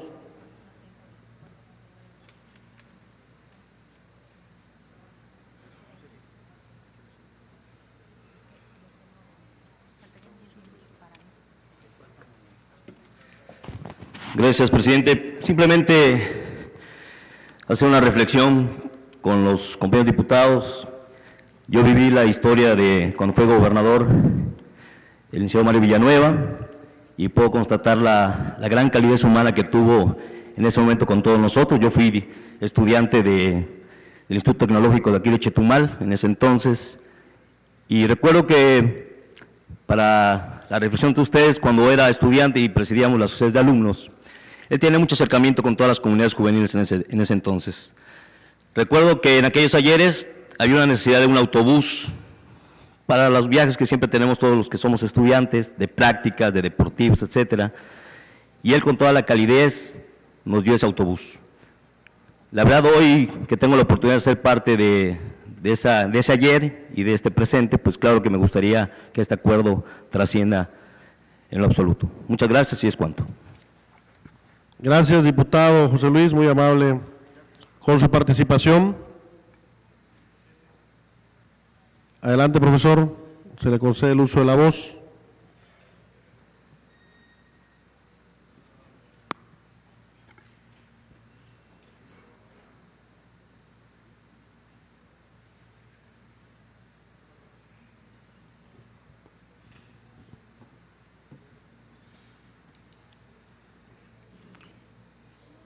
Gracias, compañero presidente. Eh, integrantes de la mesa, en especial al compañero Mario, decirle que quiero manifestar que por mi parte estaremos, en primer lugar, realizando los encargos que correspondan a esta comisión y de la cual pues hoy estamos por formar parte decirle que lo haremos con la mayor legalidad, con la mayor transparencia, apegada a todo el derecho que corresponda, sobre todo porque también, lo que decía mi compañero José Luis, en parte también me tocó en algún momento colaborar con el ingeniero y pues vamos a realizar esta encomienda con toda veracidad y me sumo, me solidarizo con la causa. Claro que sí. Gracias, muy amable, diputado Padilla, diputada Montemayor, adelante.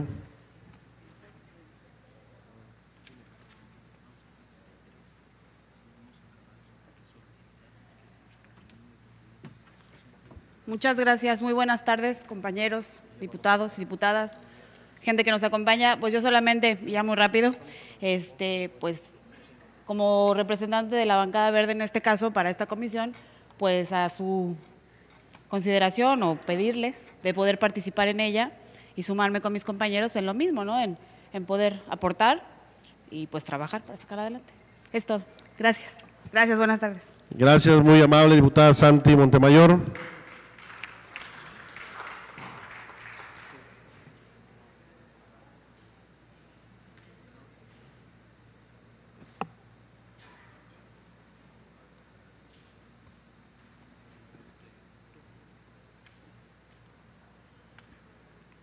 Bien, Pues no habiendo otro diputado que quiera hacer uso de la voz, en tal virtud está a consideración de esta legislatura el acuerdo presentado.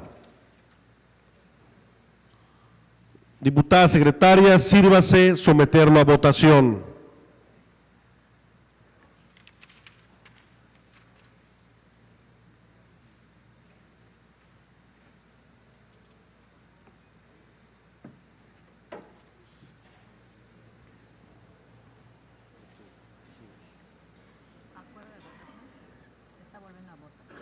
Sí, vamos a poner a votación el acuerdo presentado de manera acostumbrada, por favor, secretaria. Se somete a votación el acuerdo presentado. Sírvanse los ciudadanos diputados a emitir su voto en la forma acostumbrada.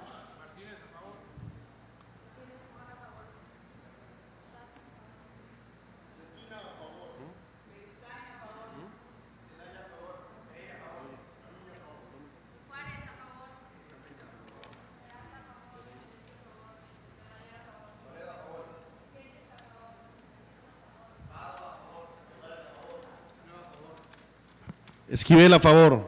Solís a favor. Diputado presidente, le informo que el acuerdo presentado ha sido aprobado por unanimidad de los votos de los presentes. Gracias, diputada secretaria. Le pido de favor eh, integre en la comisión a la diputada Santi Montemayor Castillo y al diputado Juan Carlos Pereira Escudero como vocales de la misma. En tal virtud se declara aprobado el acuerdo presentado. Diputada secretaria, sírvase darle trámite correspondiente y continúe con el siguiente punto del orden del día.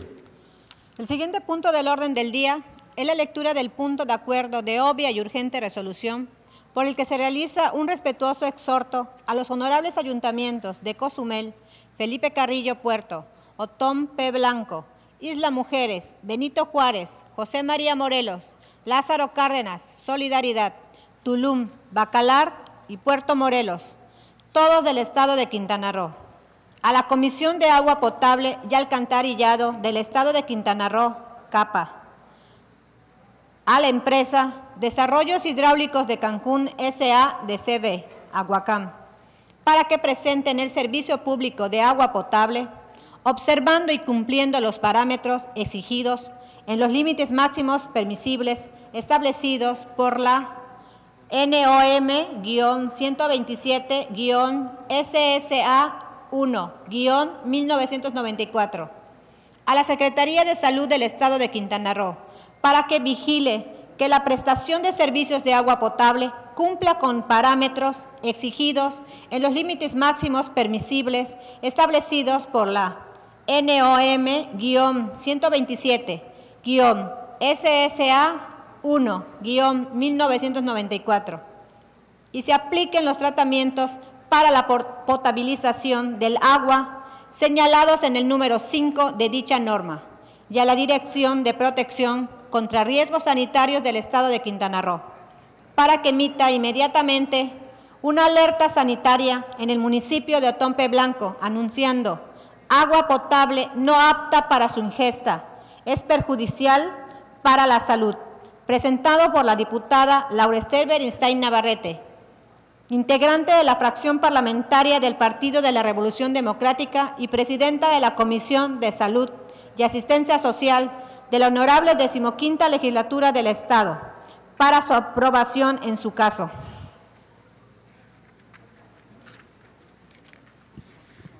Diputada secretaria, permítame, por favor. Compañeros diputados, de acuerdo a lo disponible en el reglamento para el gobierno interior del Poder Legislativo, en su artículo 29, fracción primera, en que las sesiones deberán durar hasta tres horas, en estos momentos se cumple el tiempo de las tres horas de la presente sesión sin que todos los puntos a desahogar hayan sido tratados. Por tal motivo, me permito proponer al Pleno Legislativo la prórroga de esta sesión hasta que hayan sido desahogados todos los puntos a tratar. Para tal fin, me permito solicitar a la diputada secretaria, sírvase someter a votación la propuesta para prórroga de esta sesión en los términos expuestos. Se somete a votación la propuesta presentada. Sírvanse los ciudadanos diputados a emitir su vota en la forma acostumbrada.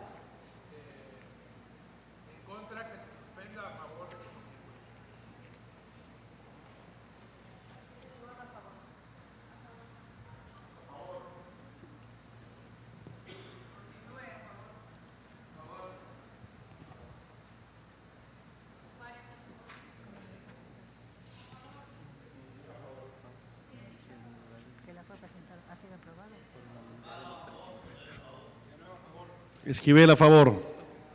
Solís a favor. Diputado presidente, le informo que el acuerdo presentado ha sido aprobado por unanimidad de los presentes. Continúe con el siguiente punto del orden del día, por favor.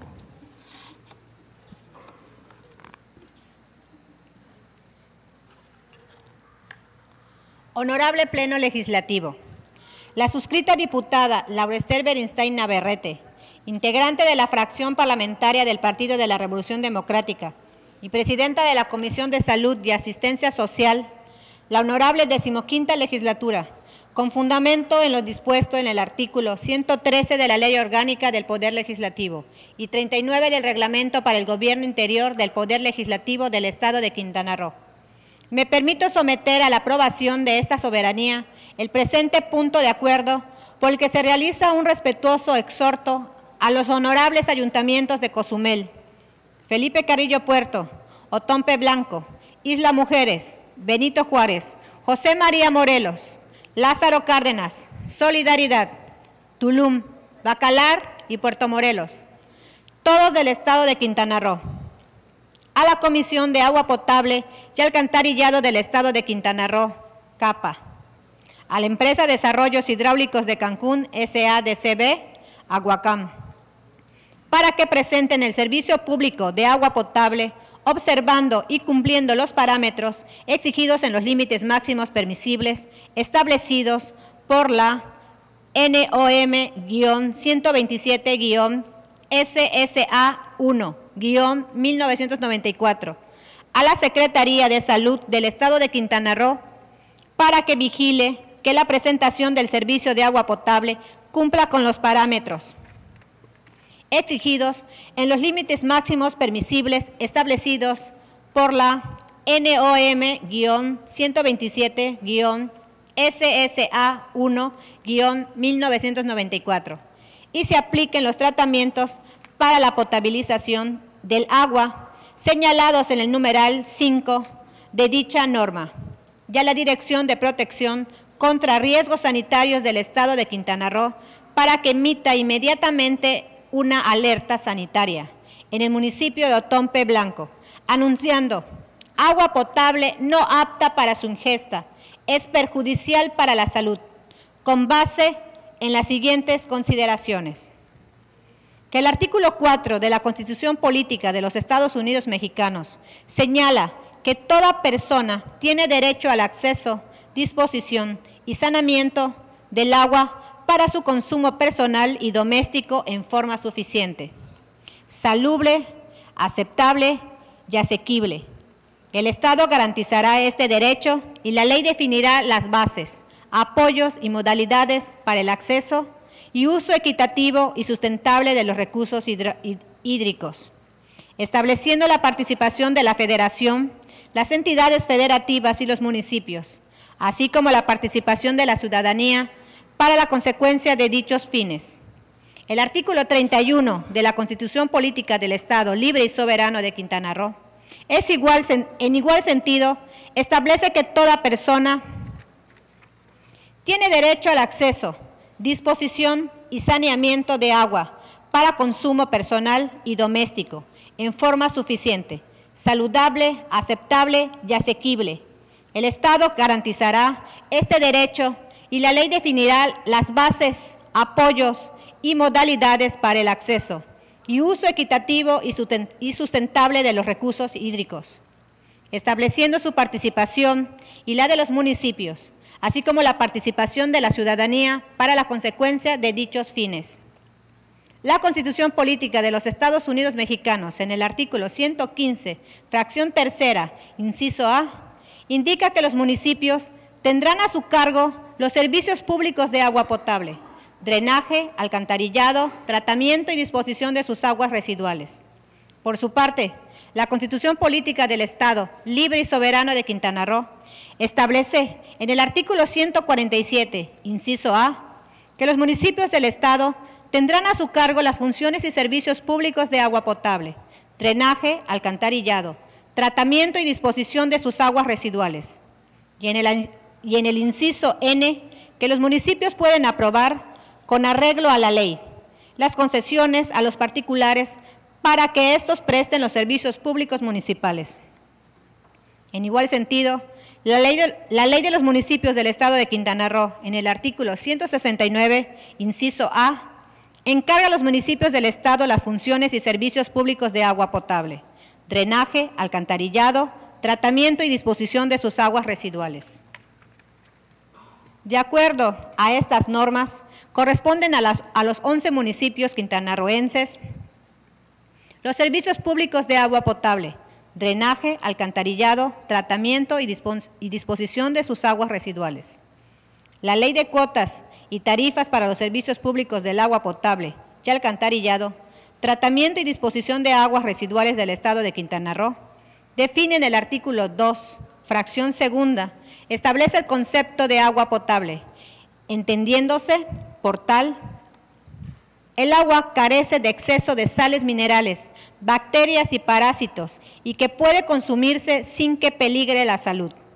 En igual sentido, la Ley del Agua Potable y Alcantarillado de Quintana Roo, el artículo 17, fracción segunda, define el agua potable como aquella que presenta las características de carácter, de carecer, perdón, el exceso de sales minerales, bacterias y parásitos, y que pueda consumirse sin que peligre la salud. La calidad del agua se determina comparando las características físicas y químicas de una muestra de agua con directrices de calidad del agua o estándares. En el caso del agua potable, estas normas se establecen para asegurar un suministro de agua limpia y saludable para el consumo humano y de este modo proteger la salud de las personas. Estas normas se basan normalmente en unos niveles de, de toxicidad científicamente aceptables para los humanos. Por contaminación se entiende generalmente una presencia de sustancias químicas o de otra naturaleza en concentraciones superiores a las condiciones naturales. Entre los contaminantes más importantes se encuentran los microbios, los nutrientes, los metales pesados, los químicos orgánicos, aceites y sedimentos. El calor también puede ser un agente contaminante al elevar la temperatura del agua. Los contaminantes constituyen la principal causa de la degradación de la calidad de agua en el mundo. México es el país con mayor consumo de agua embotellada por cápita del mundo, debido en gran medida al serio problema de contaminación que afecta la calidad del agua potable, así como también a la mala percepción que tiene la población al respecto. Es una realidad que el negocio del agua embotellada golpea la economía de muchas familias en situaciones de pobreza, que con sacrificio apenas alcanzan a pagar su servicio de agua potable mensualmente y no pueden acceder diariamente a, los, a la costosa agua purificada embotellada. El 28 de julio del 2010, a través de la resolución 64, diagonal 292, la Asamblea General de las Naciones Unidas reconoció explícitamente el derecho humano al agua y al saneamiento, reafirmando que un agua potable, limpia y el saneamiento son esenciales para la realización de todos los derechos humanos. La resolución exhorta a los estados y organizaciones internacionales a proporcionar recursos financieros, a propiciar la capacitación y la transferencia de tecnología para ayudar a los países en particular a los países en vías de desarrollo, a proporcionar un suministro de agua potable y saneamiento saludable, limpio, accesible y asequible para todos. En noviembre de 2002, el Comité de, de Derechos Económicos, Sociales y Culturales adoptó la observación general número 15 sobre el derecho al agua. El artículo 1.1 establece que el derecho humano al agua es indispensable para una vida humana digna. La observación número 15 también define el derecho al agua como el derecho de cada uno a disponer de agua suficiente, saludable, aceptable, físicamente accesible y, y asequible para su personal, para su uso personal y doméstico. Suficiente. El abastecimiento de agua por persona debe ser suficiente y continuo para el uso personal y doméstico.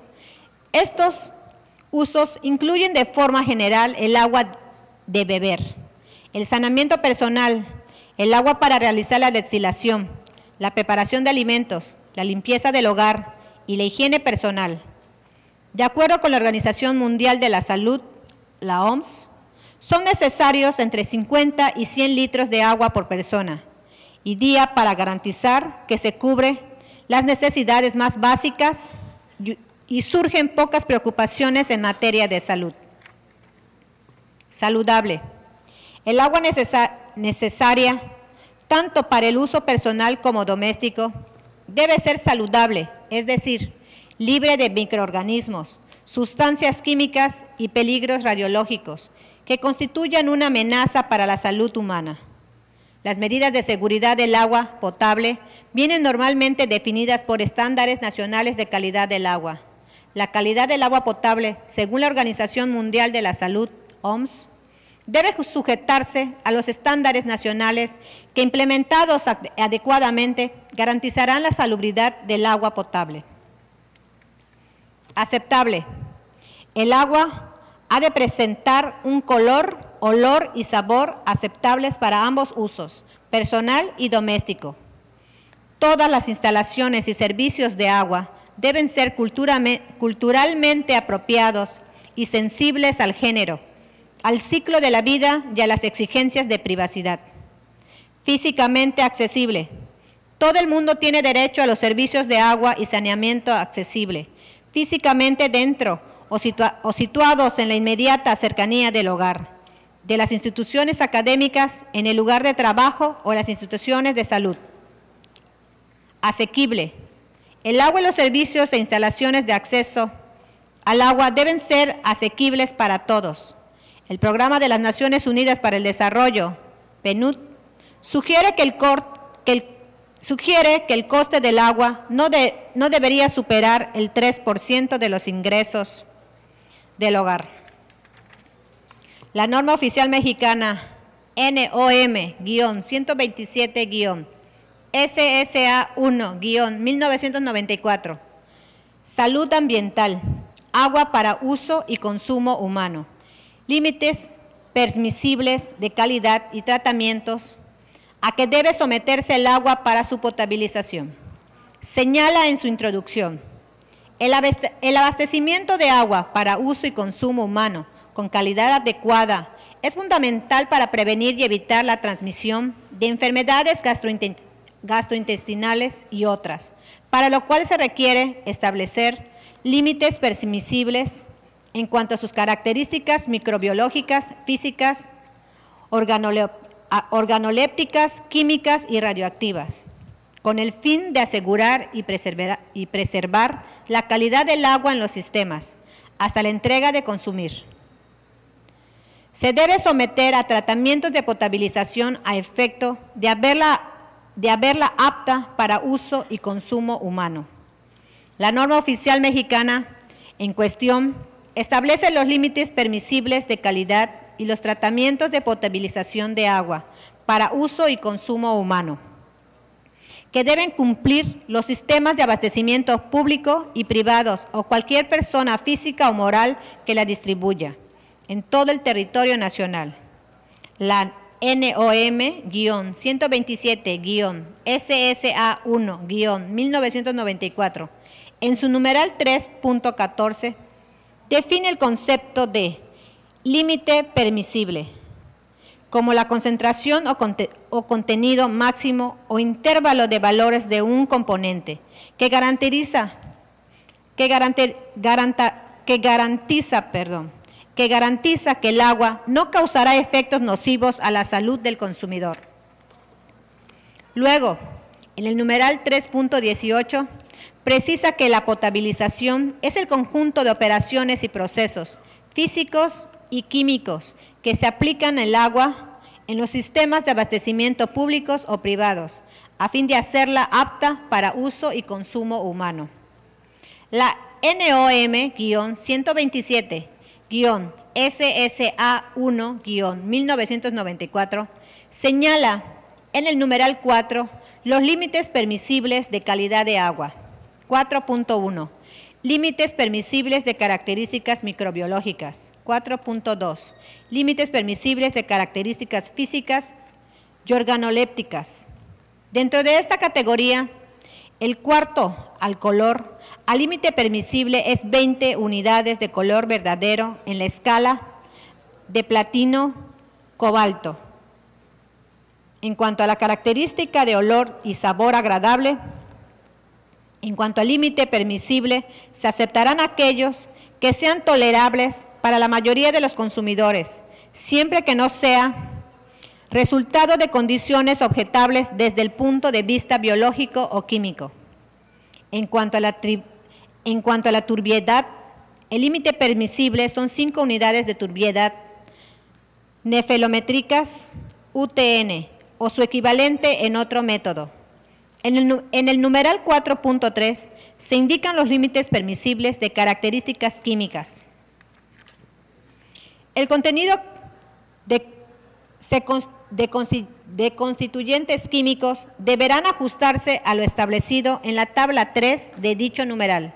Los límites se expresan en MG-1, excepto cuando se indique otra unidad. De las 35 características que enuncia la tabla 3 para el caso de particular, solo ocuparemos tres de ellas. Dureza total, límite permisible, 500 miligramos por litro. Sólidos, disueltos totales, límite permisible, 1000 miligramos por litro. Sulfatos, límite permisible, 400 miligramos por litro. Ciudadanos de la ciudad de Chetumal, capital del estado de Quintana Roo, acudieron a laboratorios ABC, Química Investigación y Análisis SADCB, ABC, Analytic, laboratorio certificado por la entidad mexicana de la acreditación, EMA, la Comisión Nacional del Agua, con agua, y la Comisión Federal para la Protección contra Riesgos Sanitarios, COFEPRIS, para realizar un estudio de agua potable que suministra la Comisión del Agua Potable y Alcantarillado, CAPA. Que laboratorios ABC Química Investigación y Análisis SADCB, ABC Analytic, entregó los resultados del análisis del agua que CAPA suministra. El muestreo se realizó en Chetumal y quedó comprobado que no cumple con la calidad requerida para consumo humano. El documento se identifica como prueba de laboratorio número 559226-1, el cual se anexa como copia simple al presente. El estudio reveló que el agua que la capa suministra presenta problemas de dureza total con 932 miligramos por litro, más 432 miligramos por litro, sólidos disueltos totales en 1.274 miligramos por litro y sulfatos con 476.50 miligramos por litro, que rebasan los parámetros fijados en la norma oficial mexicana NOM 127-SSA1-1994, referente a salud ambiental, agua para uso y consumo humano, límites permisibles de calidad y tratamientos a que debe someterse el agua para su potabilización. Que el exceso de max, del máximo permisible en la dureza total del agua, varios estudios de la Organización Mundial de la Salud, OMS, han demostrado que provoca la proliferación de enfermedades cardiovasculares. Tener un agua dura influye en el rendimiento y el mantenimiento de los electrodomésticos. También afecta a los calentadores, ya que hace que el consumo de energía sea un 40% mayor, además que provoca la formación de incrustaciones. El agua dura no es apta para el consumo humano ni animal, tampoco para lavar ropa o cocinar. La dureza del agua se debe al contenido de calcio y en menor medida de magnesio disueltos. Suele expresarse como, como cantidad equivalente al de carbonato cálcico, del carbonato cálcico. El exceso de contenido de sulfato en el agua de consumo puede provocar un efecto laxa- laxante. Cuando se concentra de manera excesiva, adquiere propiedades corrosivas. La Organización Mundial de la Salud recomienda que en aguas des- destiladas para consumo humano, el límite permisible no acceda de 250 miligramos por litro. Obstante, la NOM-127-SSA1-1994 lo estableció en 400 miligramos por litro, pero CAPA está suministrando agua potable con una cantidad de sulfato por encima de dichos límites, lo cual la convierte en perjudicial para la salud y por lo tanto no apta para el consumo humano. La, organi- la Organización Mundial de la Salud señala que la potabilidad del agua con una concentración de sólidos disueltos totales menor que 600 miligramos por litro suele considerarse buena, pero a concentraciones mayores que aproximadamente 1000 miligramos por litro, la potabilidad del agua de consumo disminuye signific- significativa y progresivamente.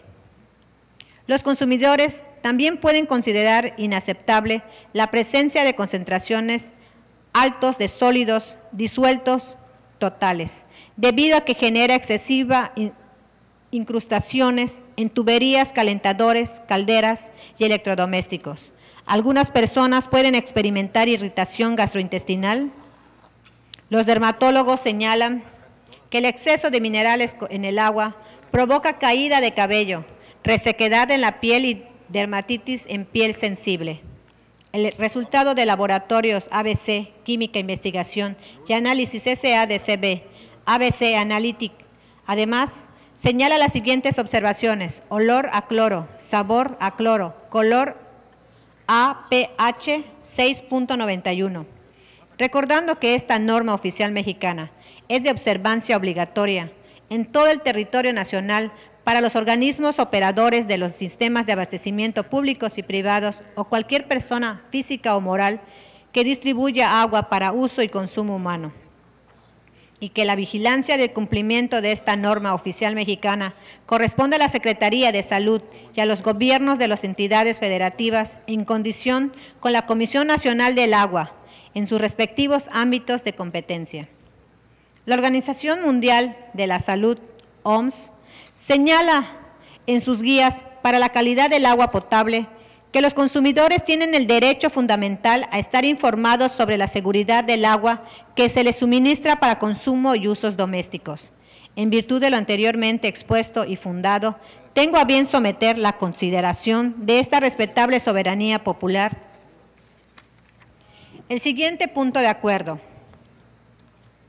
Primero, se exhorta respetuosamente al honorable Ayuntamiento de Otompe Blanco a garantizar inmediatamente a través de su organismo operador del servicio del agua potable y alcantarillado a la prestación del servicio público del agua potable, potable en observancia y cumplimiento con la norma 127-SSA1-1994. Segundo, se exhorta respetuosamente a los honorables ayuntamientos de Cozumel, Felipe Carrillo Puerto, Isla Mujeres, Benito Juárez, José María Morelos, Lázaro Cárdenas, Solidaridad, Tulum, Bacalar y Puerto Morelos, recolección de muestras y análisis de agua potable en su respectiva cabecera municipal y otras cinco colonias de su, de su circunscripción territorial y remitir una copia de los resultados a, este a esta honorable decimoquinta legislatura y a la Secretaría de Salud del Gobierno de Quintana Roo. Asimismo, se les exhorta a que en caso de que los resultados determinaran que se incumplen los límites máximos permisibles establecidos por la, por la NOM-127-SSA 1-1994, ordenen inmediatamente a sus respectivos organismos operadores del servicio público del agua potable a cumplir con los parámetros establecidos. Tercero, se exhorta respetuosamente a la Comisión de Agua Potable y Alcantarillado como organismo operador de los servicios de agua potable en los municipios de Cozumel, Felipe Carrillo Puerto, Otompe Blanco, José María Morelos, Lázaro Cárdenas, Tulum, Bacalar y Puerto Morelos, a prestar el servicio de agua potable observando y cumpliendo los parámetros exigidos en los límites máximos permisibles establecidos por la norma 127-SSA 1-1994 y aplicar los tratamientos para, para la potabilización del agua señalados en el numeral 5 de dicha norma. Cuarto, se exhorta respetuosamente a Desarrollos Hidráulicos de Cancún, SADCB, Aguacam, como organismo operador de los servicios de agua potable en los municipios de Benito Juárez, Isla Mujeres y Solidaridad, a prestar el servicio de agua potable, observando y cumpliendo los parámetros exigidos en los límites máximos permisibles establecidos por las normas 127-SSA 1-1994 y aplicar los tratamientos para la potabilización del agua señalados en el numeral 5 de dicha norma. Quinto, se exhorta respetuosamente a la Secretaría de Salud del Estado de Quintana Roo para que en coordinación con la Comisión Nacional del Agua, en un plazo no mayor de 30 días naturales, recabe muestra y realice análisis de laboratorio de agua potable en los 11 municipios del Estado con el objeto de vigilar que la presentación que la prestación del servicio del agua potable cumpla con los parámetros exigidos en los límites máximos permisibles establecidos por la norma 127-SSA 1-1994 y se apliquen los tratamientos para la potabilización del agua señalados en el numeral 5 de dicha norma. Sexto, se exhorta, se exhorta respetuosamente a la Dirección de Protección contra Riesgos Sanitarios del Estado de Quintana Roo para que vigile que el agua potable que se suministre en los 11 municipios del Estado cumpla con los parámetros exigidos en los límites máximos, permisibles establecidos por la norma 127-SSA 1-1994 y que se apliquen los tratamientos para la potabilización del agua señalados en el numeral 5 de dicha norma. Asimismo, se le exhorta a esta dirección a emitir inmediatamente una alerta sanitaria en el municipio de Otompe Blanco, anunciando agua potable no apta para su ingesta, es perjudicial para la salud, como así también en aquellos municipios donde los resultados demostrarán que el agua potable no cumple con los límites máximos permisibles establecidos por la norma 127-SSA 1-1994. Dado en la sede del Poder Legislativo del Estado Libre y Soberano de Quintana Roo, ciudad de Chetumal, capital del Estado, a los 26 días del mes de septiembre de 2016, diputada Laura Esther Bernstein Navarrete, presidenta de la Comisión de Salud y Asistencia Social de la decimoquinta Legislatura del Estado Libre y Soberano de Quintana Roo. Es cuanto, diputado presidente. Gracias, diputada secretaria. Se concede el uso de la palabra a la diputada Laura Bernstein.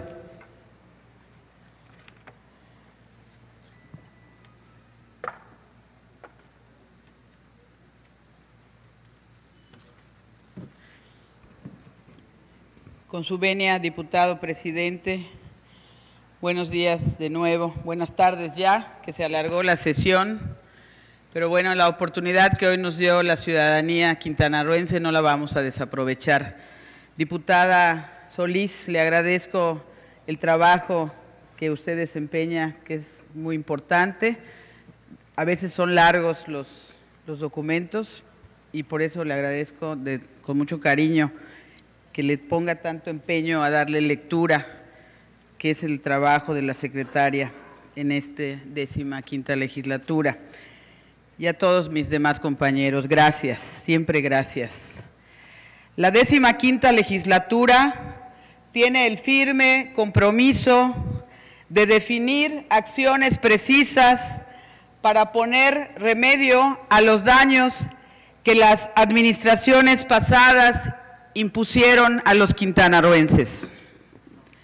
Por ello, hago un exhorto a los municipios responsables del servicio de agua potable y a sus respectivos organismos operadores, CAPA y Aguacán, para que hagan los muestreos y análisis necesarios del agua potable y presten este vital servicio público cumpliendo con la norma oficial mexicana 127-SSA1-1994, toda vez que estudios de laboratorio han revelado en la ciudad de Chetumal que el agua que brinda capa no es apta para el consumo humano. Un tema muy delicado, expresarles que el agua no es apta para el consumo humano. Este llamado, compañeros legisladores, compañeras legisladoras, es de carácter de urgente resolución, porque ante el problema se debe extender una alerta sanitaria. Nuestras familias, nosotros, la ciudadanía en general, hoy está usando y bebiendo agua contaminada y no tiene manera de evitarlo en muchos casos, porque hay muchas familias que viven en estado de pobreza y que no pueden comprar agua embotellada. Cada día que pasa es un día más en menoscabo de su salud. Compañeros diputados, compañeras diputadas, someto a la aprobación de este honorable Pleno Legislativo el exhorto leído con antelación de obvia y urgente resolución. Que sepa la gente en Quintana Roo que ya no vamos a actuar como en otros tiempos. Seamos congruentes, actuemos con responsabilidad. Seamos una décima quinta legislatura efectiva, no postergadora. A la vida humana no se le posterga, a la vida humana se le decide, se actúa con rapidez, más cuando se trata del tema del agua. Los invito a hacer conciencia, a hacer una profunda reflexión, ya que pensemos que este problema tiene que ser de orden y de urgencia y de manera inmediata por la salud de todos los quintanarroenses que hoy con su voto estamos aquí como diputados de la décima quinta legislatura. Muchas gracias. Gracias, diputada Laura Bernstein. Y toda vez que el punto de acuerdo ha sido presentado de obvia y urgente resolución, diputada secretaria, sírvase someter a votación si es considerado como tal.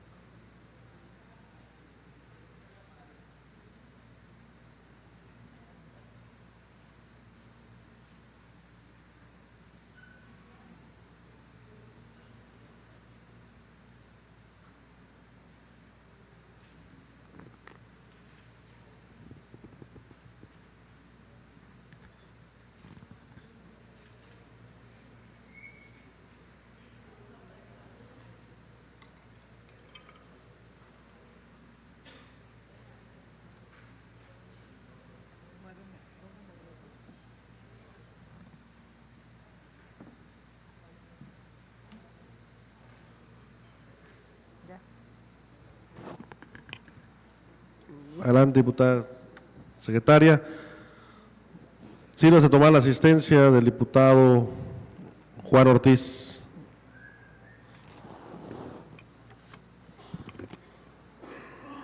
Se somete a votación si es de obvia y urgente resolución el acuerdo presentado, por lo que le solicito a los diputados emitir su voto en la forma acostumbrada.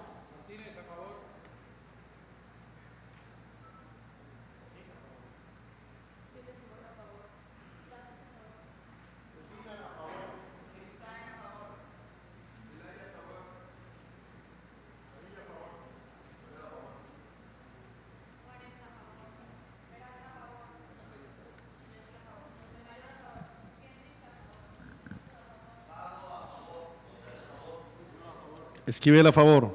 Solís a favor. Informo a la presidencia que la votación de obvia y urgente resolución ha sido aprobada por unanimidad de votos de los presentes. En tal virtud está a consideración de esta legislatura el acuerdo presentado. Si algún diputado desea hacer alguna observación, sírvase manifestarlo. No habiendo quien haga uso de la palabra, diputada secretaria, sírvase someterlo a votación. Se somete a votación el acuerdo presentado. Sírvase los ciudadanos diputados emitir su voto en la forma acostumbrada.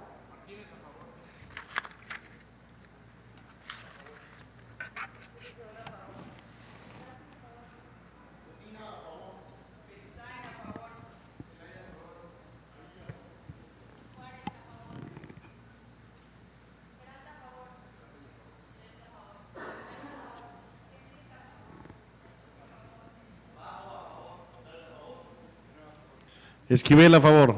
Solís a favor. Diputado presidente, le informo que el acuerdo presentado ha sido aprobado por unanimidad de votos de los presentes. Gracias, diputada. En tal virtud se declara aprobado el acuerdo presentado. Diputada secretaria, sírvase darle trámite, el trámite correspondiente. Continúe con el siguiente punto del orden del día. El siguiente punto del orden del día es la clausura de la sesión. Se pide a los, a los presentes ponerse de pie. En tal virtud, se clausura la sesión número 10, siendo las 15 horas con 30 minutos del día 29 de septiembre del 2016 y se cita a la sesión ordinaria el día 4 de octubre del año en curso a las 19 horas. Muchas gracias a todos por su amable asistencia. Muy buenas tardes.